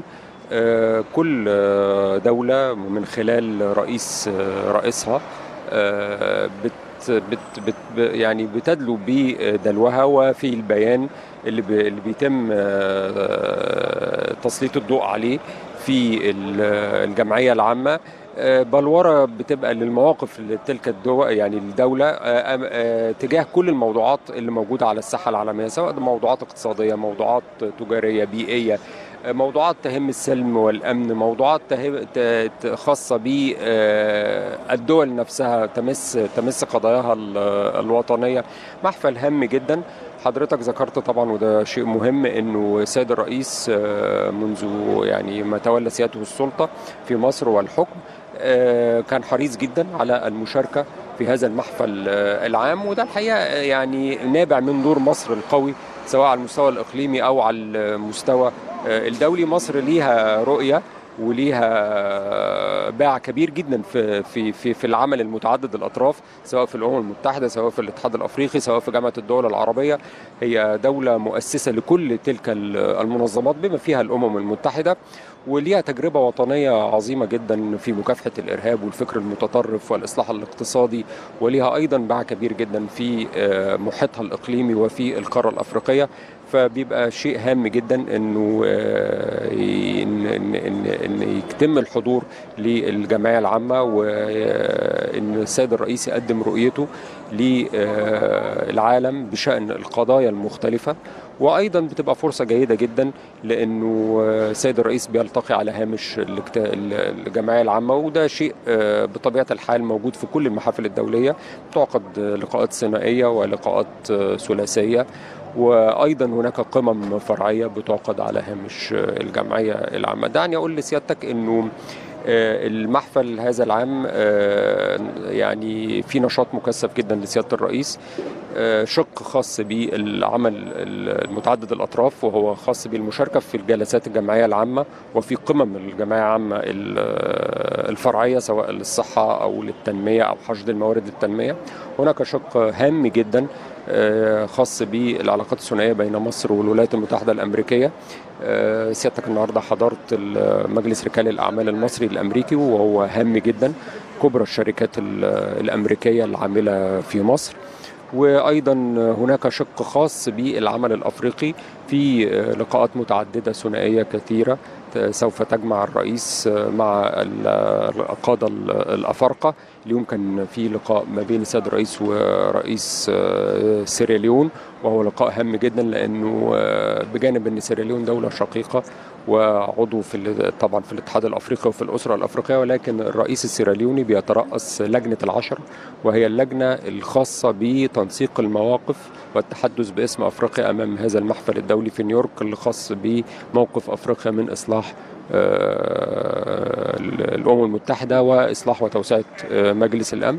اليوم أيضا كان في قمة ثلاثية ضمت السيد الرئيس مع آه، جلالة الملك عبد الله. وفخامة الرئيس برهام صالح العراقي ودي تعتبر الجولة الثانية من القمة اللي عقدت أول مرة في القاهرة في مارس. لقاء كان مثمر جدا. صحيح بس أنا عايز أقف عند اللقاء ده يا فندم وبالتحديد عند البيان اللي خرج من رئاسة الجمهورية. البيان آه، جاء صريحا في التضامن مع المملكة العربية السعودية وأيضا جاء صريحا في الرد على بعض الإرهاصات التي تأتي من هنا أو هناك. تتعلق بالأراضي الأردنية. كيف تحدثني عن هذا البيان وعن هذه العبارات بالتحديد؟ زي ما حضرتك ذكرت طبعا البيان جاء صريح جدا وأهم ما في سمة البيان هو اللغة المشتركة الواحده التي تجمع ثلاث دول مصر والأردن والعراق. والحقيقة التضامن مع الشقيقه المملكة العربية السعودية كان شيء طبيعي جدا. السيد الرئيس طالما ما كرر وأكد في جميع اللقاءات آه، إنه أمن الخليج وأمن الأشقاء العرب وأمن المملكة السعودية وأمن الكويت وأمن كل الأسرة الخليجية. هو امتداد للأمن القومي المصري. ده شيء واضح جدا وتكرر كثير على لسان السيد الرئيس. أيضا القضية الفلسطينية بلا شك هي قضية تاريخية وقضية تعتبر يعني من القضايا المركزية اللي مصر بتهتم بيها وهي يعني مصر أكثر دولة في العالم قدمت للقضيه الفرنسية ال- الفلسطينية وما زالت آه، تقدم و و والموقف المصري موقف ثابت وصريح تماما. عودة الحق للفلسطينيين وفق المرجعيات الدولية وفق حدود آه، آه، الرابع من يونيو 65 وفق حل الدولتين وده شيء مهم جدا. ووفق إن عاصمه فلسطين تكون القدس الشرقية. ده شيء واضح ومتكرر ولا حياد عنه. وأيضا السيد الرئيس في خلال المناقشات آه، يعني وفي خلال لقائه اليوم مع آه، الرئيس الفلسطيني آه، أبو مازن إنه لن يكون هناك قبول لأي حل لا يقبله الفلسطينيين. لا أحد يتكلم بالإنابة عن الفلسطينيين هم أصحاب القضية ولن يكون هناك قبول أي حل بأي حال من الأحوال إلا ما يقبله الفلسطيني- الفلسطينيون ويرت- ويرتضوا. البيان زي ما حضرتك قلت بيان قوي وبيان بيعكس التوافق. أيضا شمل آه، ما يتعلق بالأراضي الأردنية. مظبوط.